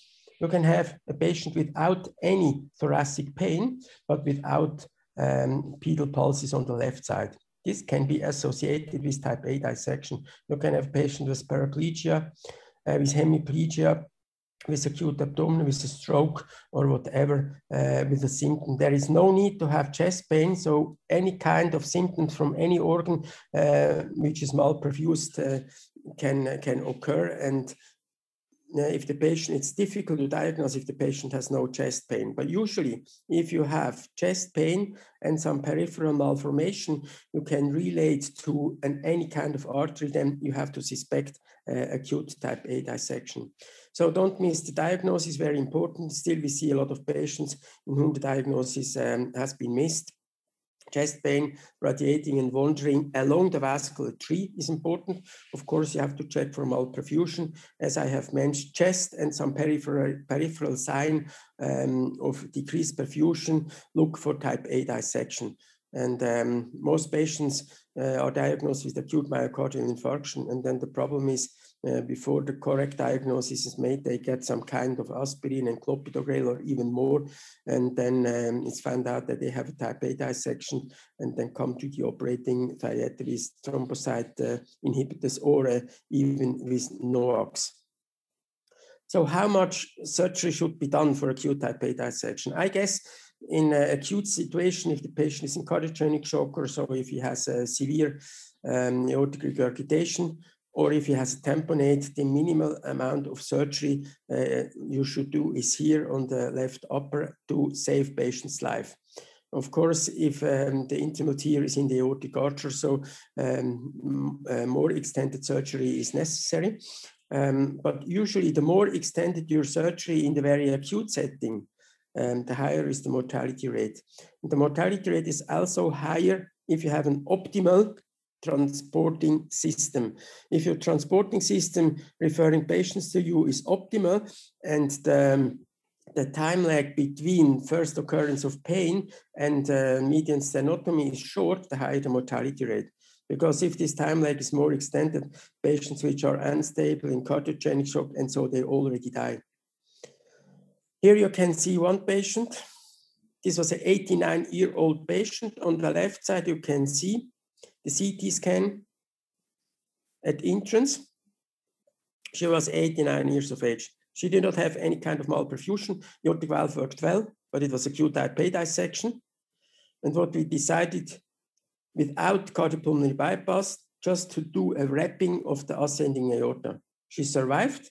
And here you can see this is uh, three months after surgery. The patient is quite well. Still, of course, there is an intimal flap, but still there is a chronic dissection now. You can see how the ascending aorta developed after wrapping. So in very high risk patients and in very old patients, it is feasible to do a wrapping of the ascending aorta and maybe part of the proximal arch. There is one series, and the one-year mortality rate in these patients have been 6%, which is favorable. So it's not always necessary to operate uh, even very old and very high-risk patients. So surgery for type A dissection is truly the surgeon's task. He must choose the correct surgical procedure. It's, his task to restore the organ perfusion. It's very important to have a correct intraoperative assessment of the adequacy of body perfusion, and he must take immediate action in case of malperfusion. He has to continue to eliminate malperfusion wherever in the arterial tree this is. So there is no way uh, to defer the patient to the in intensive care station, even though there would only be an ischemic leg, because uh, there may be subsequent myonecrosis, subsequent renal failure, and together with emergency surgery, this can later on kill the patient. So um, all over the body, the perfusion must be restored. Type A dissection, of course, mainly is a medical or endovascular treatment. Um, here just one slide where you can see the indications for emergency surgery in type B dissection is free rupture, is malperfusion. Of course, you are going to correct that uh, the place of malperfusion. As an example, if you have type B dissection and loss of a groin pulse and an ischemic leg, you don't go for surgery on thoracic level, but you eliminate malperfusion of the leg. And what you are uh, doing, you are going to do, as an example, femoral, femoral uh, crossover bypass, which can even be done in local anesthesia. So the Pseudocoarctation, persisting pain, paraparesis, and, and hemotothorax are uh, the relatively rare indication to go for acute surgery in type B dissection. It's not yet clear, you can see um, unnecessary emergency surgery in type uh, B dissection has the, the lowest survival. And there are two options, endovascular treatment and medical management. So it's not yet clear what is superior. And what we do with acute type B dissection, usually we do medical treatment with beta blocking and uh, with beta blockers and observe the patient.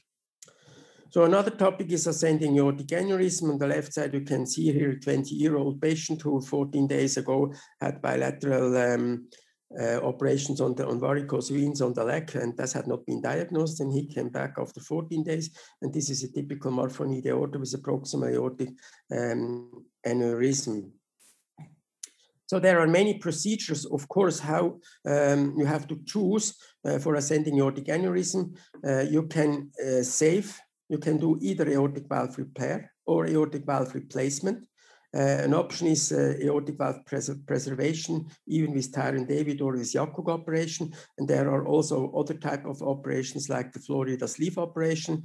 According to the extension of the aneurysm, so you can see here, you can even replace the entire arch. You can do here an anastomosis on the proximal descending aorta and uh, leave an elephant trunk in place, which can later be catched uh, if you're going to stent descending thoracic aorta.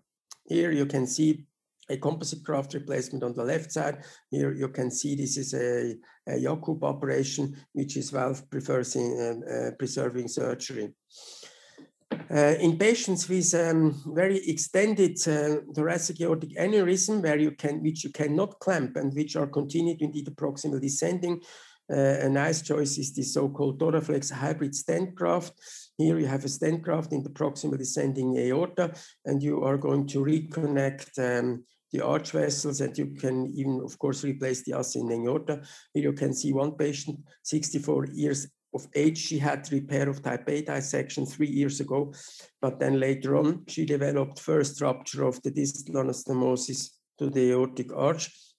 She developed a huge pseudoaneurysm uh, which was on the left posterior side uh, dorsally, and there was a compression and even an obliteration um, of the left bron principal bronchus and on the left pulmonary artery. And um, of course, functionally, she had only one lung. And uh, what we did, uh, we did replace the ascending aorta and put the Thoraflex prosthesis in this patient. Now, uh, the most extensive surgery here is the, um, the replacement of the thoracoabdominal aorta, even though a large part of patients can be also treated uh, by stenting.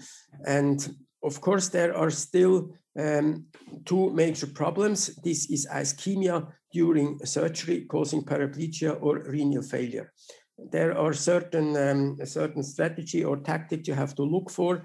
Now, of course, um, you have to check the heart if there is coronary artery disease because there is an immense increase of cardiac afterload, an increase in cardiac work during the clamping period. Uh, if you declamp, it's an ischemia because the patient can have a low blood pressure. Um, there are several adjuncts how you should look um, for the spinal cord here. Uh, you can do shunts, you can uh, use a cardiopulmonary bypass with a hypothermic circulatory arrest, uh, but most uh, today do a, a isolated um, perfusion of the renal visceral arteries and even um, sometimes of the intercostal branches.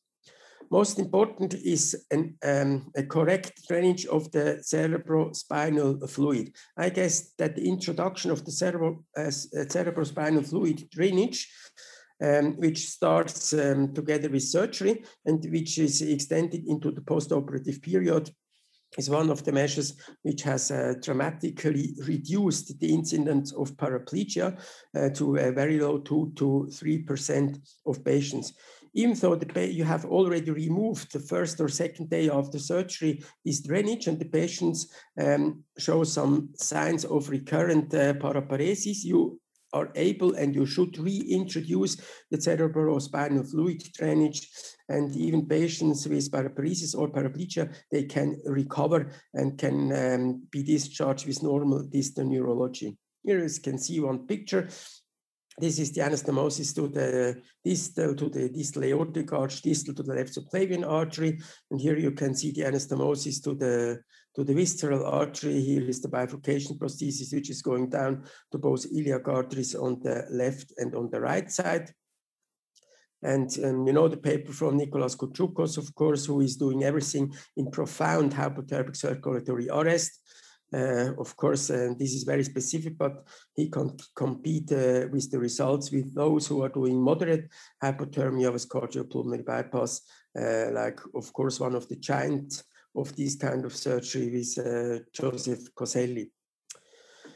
Um, sometimes we see patients who have a dyscalcific depots according to Montgomery class 4 or to class 4 with Rybakova who have these descending plaques also in the ascending aorta, who have some anticoagulation or aspirin or Plavix, but continue uh, to make uh, cerebral embolism in these patients. We developed a surgery which is um, thromboendarterectomy of the ascending aorta and of the arch.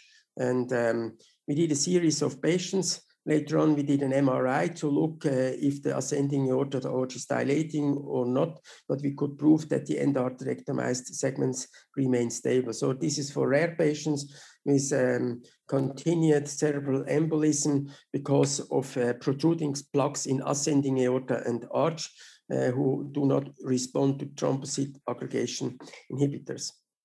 Another uh, nice operation is the so-called ascending descending uh, prosthesis to the in, intra-abdominal supraceliac uh, aorta for patients who had a coarctation. Maybe they had surgery as a child and they have recurrent coarctation. Maybe they already had one or two reoperations and the left chest. And then it's better to do an, a prosthesis from the ascending aorta. You can see here at the heart and here you can see the liver and you can see the, the supraceliac uh, segment of the intra-abdominal aorta. And of course, these patients, we have had two patients after 20 years, they came back with an, an aneurysm of the ascending aorta, where the connection of the ascending descending uh, graft was. This was one patient I, I operated, I guess, 22 years ago in the University Hospital in Zurich, and now I, he came back and we uh, did replace the ascending aorta. This uh, is a very, very rare patient uh, which I had operated in Myanmar. But I can show you this was a high-speed um, horizontal, um, high-speed trauma, and um, the patient developed this aneurysm. Uh, he came with dyspnea, and what he have found was rupture, rare rupture of the ascending aorta. The patient could survive this because there was a huge pseudoaneurysm, and rupture was prevented by the by the very thick adventitial layer, which usually is going around the ascending aorta and the pulmonary artery, which is quite thick in young patients, and it's prevented uh, death and ex immediate exsanguination of this patient. Here you can see uh, another nice um, picture of a patient I operated uh, on recently. This is a sinus valsalva aneurysm here, and you know you can see here prolapsing into the right ventricular outflow tract. And mainly this patient had dyspnea, and um, there was a pressure gradient of more than 50 millimeter mercury in the right ventricular outflow tract. He was happy that this was not ruptured. Um, so you can see here there is the variety of um, aortic surgery you can do is enormous. Uh, this is a patient here with an, an, an, aneurysm of ascending aorta arch and descending was impossible to put a clamp.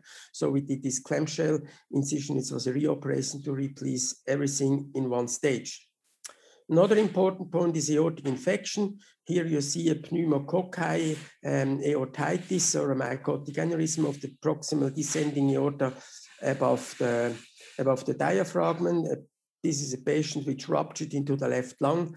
This is an infrarenal mycotic aortic aneurysm, and this is a ruptured um, mycotic aneurysm which ruptured in the spinal cord. Um, so we operated on a large series of patients. Usually we used homograft. And this was a patient who had a previous surgery with composite graft replacement, replacement of aortic arch and elephant trunk. And he suffered from this mycobacterium chimaera endocarditis, uh, which is a bacterium which is located in, located in the heater and the cooler machine, uh, which caused a lot of troubles, which uh, fortunately had been eliminated. This was a, a very rare indication. Of course, there are complex hybrid procedures you can see here. This was replacement of the ascending aorta and arch, reimplantation of the head and neck vessels, and in the same time, um, we will be prepared an entry into the infrarenal aorta and did in the same setting, uh, did the stent the descending thoracic aorta. What you also can do, you can do an aortic debranching of the head and neck vessels.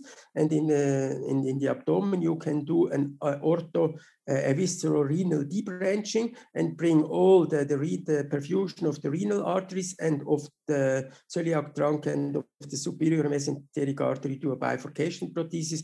And then you are able to stent the entire thoracoabdominal aorta. So you can treat a complete thoracoabdominal aortic aneurysm with this technique by just a simple uh, uh, median laparotomy. So what are the current overall results? I guess that elective replacement of the infrarenal aorta should have a mortality less than 1% emergent uh, between 5 to 10%. The replacement of an aneurysm of the ascending aorta, regardless if you are also going to replace the aortic valve, if you do concomitant CABG, or if you are doing an open anastomosis of the arch, if it is elective, the mortality rate is less than zero, less than 1%. Type A dissection, it depends. If it's uncomplicated with all, without malperfusion, the, currently the mortality may be as low as 5%. If it's more complex together with neurological symptoms already preoperatively, it may be up to 15 to 25%. Then elective surgery in the descending thoracic aorta, 5%, uh, emergent 10%, and surgery for thoracoabdominal aorta uh, has today a mortality between 5 to 10% and hybrid treatment for these kind of patients. You have shown uh, two cases uh, in our hands so far had a mortality of 5%. So overall, there are markedly improved results over all aortic segments, a decreased morbidity with regard to uh, postoperative stroke and paraplegia. You can do combined surgery, stents and hybrid are welcome, and you can reduce the amount of surgery. And what is very important, you have to think more about prophylactic surgery according to the uh, recommended diameters and not um, leave the patient into emergency surgery. So, of course, um, the indication for surgery depends on the absolute aortic diameter in the comorbidities, in the rate of annual growth, uh, in the patient's quality of life, and the descending and the, the surgeon's result.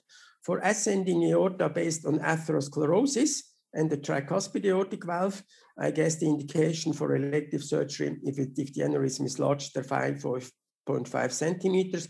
If there is a tissue, tissue deficiency syndrome with bicuspid aortic valve, it's 4.5 centimeter, whereas you have to calculate, particularly in atherosclerotic aortic aneurysma on the body surface area. Arch indication 5.5 to 6 centimeter, descending thoracic aorta up to 6 centimeters. And for thoracoabdominal aorta, it's up to 6 centimeters. If it's chronic dissection, it's uh, if it's more than 6.5 centimeters. And if you have an infrarenal aortic aneurysm and it's low risk surgery, uh, it's if it's more than five centimeter in diameter.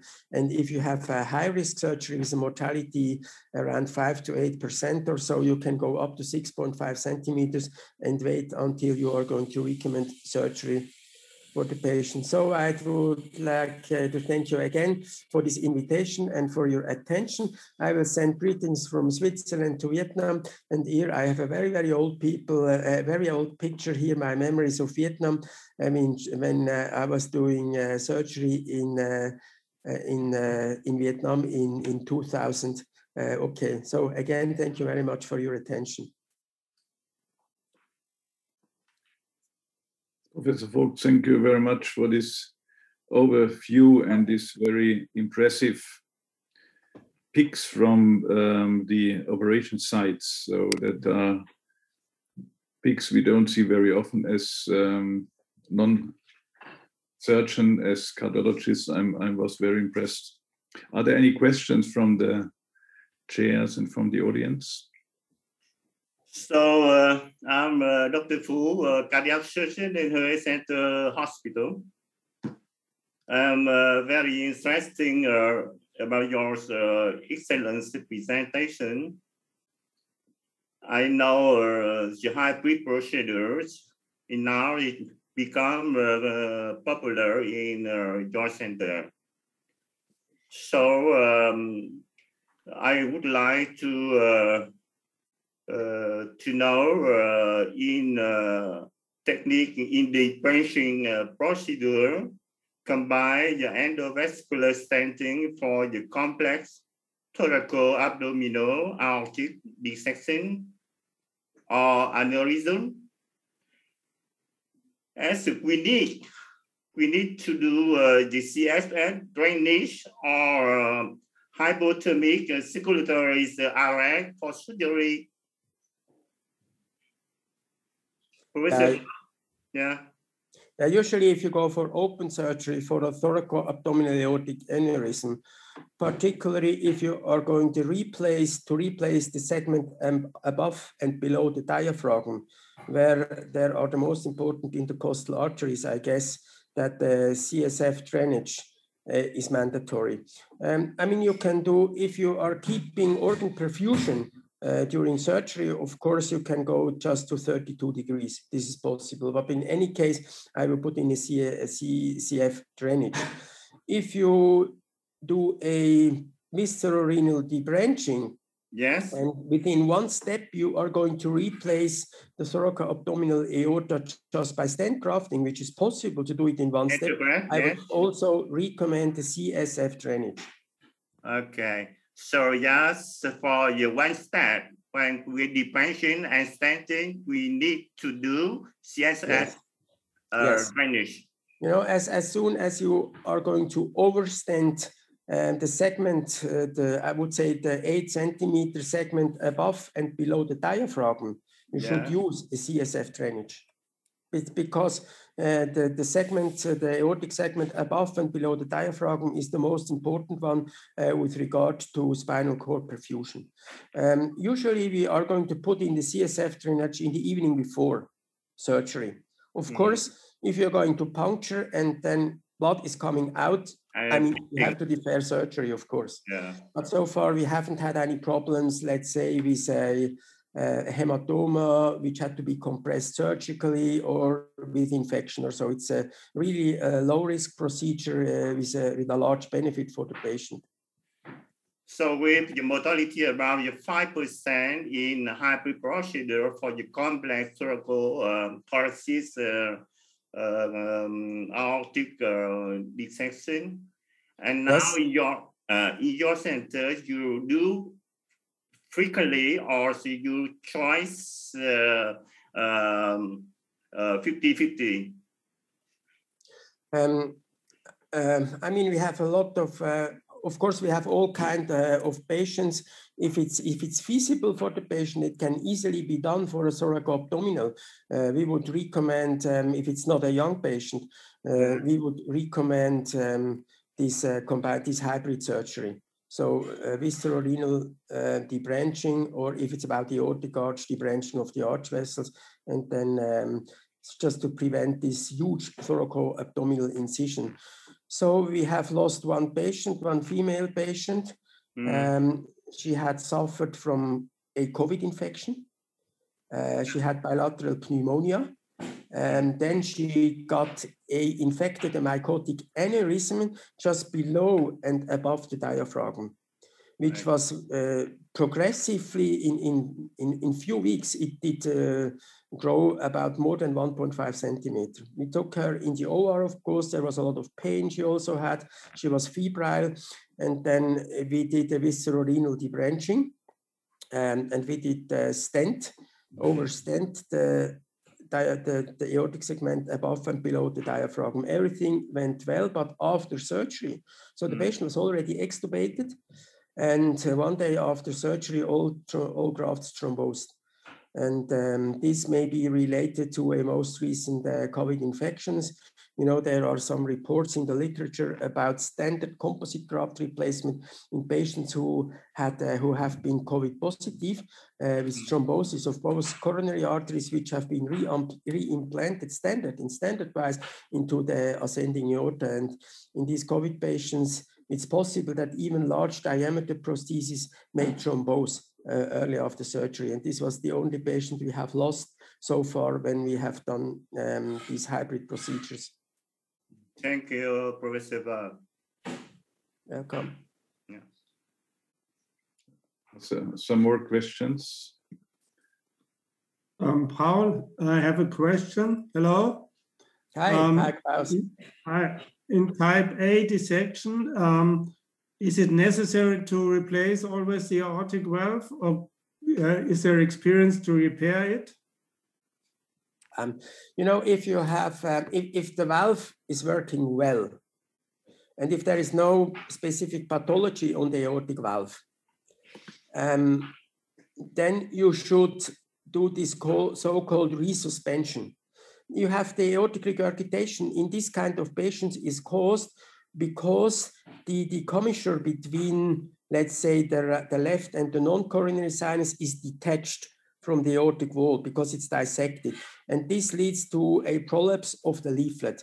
But if you are going to resuspend um, this commissure, if you are going to glue um, the sinus valsalva portion um, and to restore the geometry of the aortic valve and you put in a supracoronary prosthesis, you don't need to replace the aortic valve. It's not necessary. We are going, of course, to replace if it's a degenerated bioprosthesis, if it's calcified or something like that. But in most patients, it's not necessary. Okay.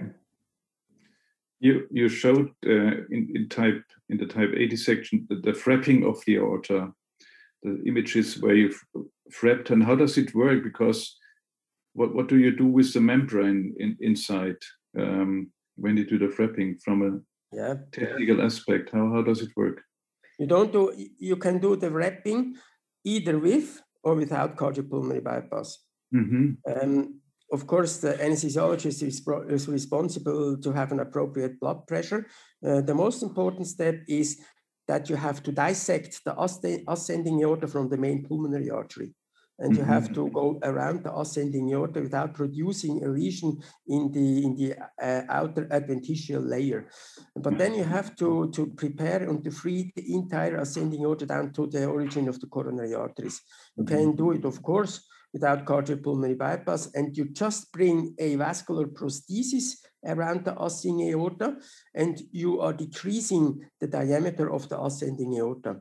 The um, surgery is just outside of the lumen. You don't do mm-hmm. anything with the dissection membrane. The aim of this kind of surgery in very old and fragile high-risk patient is just to prevent rupture of the ascending aorta, nothing else. Of course, they will leave the hospital with chronic dissections. And there are a few papers. Uh, the operative mortality has been quite low, and with regard to late um, MACE, so to say, the one-year mortality in, in these very, very fragile and old patients has only been 6%. They can survive even in, in the long term having a chronic dissection. Okay, thank you very much. Okay, I might give over to Dr. Quang. Thank you very much, Professor Thank from, from Zurich. Okay. Okay. So, uh, Professor Ming, do you have some uh, closing remarks? Yeah. Uh, Professor yeah. Ming, Professor Tien. Yeah. on uh, on behalf of the uh, uh, Vietnamese member in uh, Huế and in central Vietnam, and on behalf of Professor uh, Bùi Đức Phú, he is present this afternoon. I would like to express my sincere thanks to all the uh, professor, professor, doctor of the uh, German Vietnam Association. Uh, unfortunately, uh, we didn't have uh, the uh, occasion to meet together face to face because of the COVID-19. But we hope that in the near future, maybe next year, we can gather in the city in the central of Vietnam to discuss, to drink something, and to have a many uh, story to share on of uh, uh, on of us. And once again, thank you very much for your famous uh, for your excellent presentation, and uh, hope uh, we are we will in good health in the next day. Once again, thank you very much. Okay. Okay. Thank you very much as well. Thank Hope you to see you very soon. much. Professor Stay Phú, Thank you. healthy. Thank you. Professor Phú, you have uh, some. Uh, Uh, thank you so much, our uh, uh, we uh, hope to uh, see again face to face and Professor Mentor. Okay, thank you very much. Okay, bye bye, Professor. Okay. All, all, all of us uh, are vaccinated already. Already. Yeah, I got two shots already. You know, I can travel where I want to. very, very important. Very important. Free, free Yeah. shot. Maybe uh, COVID 19 avoid us, avoid us. Yeah. And uh, get us free of uh, disease. Uh, okay. Thank you. Goodbye. Thank you very much. Bye. Thank you very much. You too. Bye-bye. Bye bye bye bye. Goodbye, Professor Klaus. Goodbye, uh, Professor Dr. Klaus. Uh, Gerek. Gerek uh, Klaus. Long yeah. time no see, Dr. Gerek. Yeah. Recording bye. stopped. Okay. Bye bye. Bye.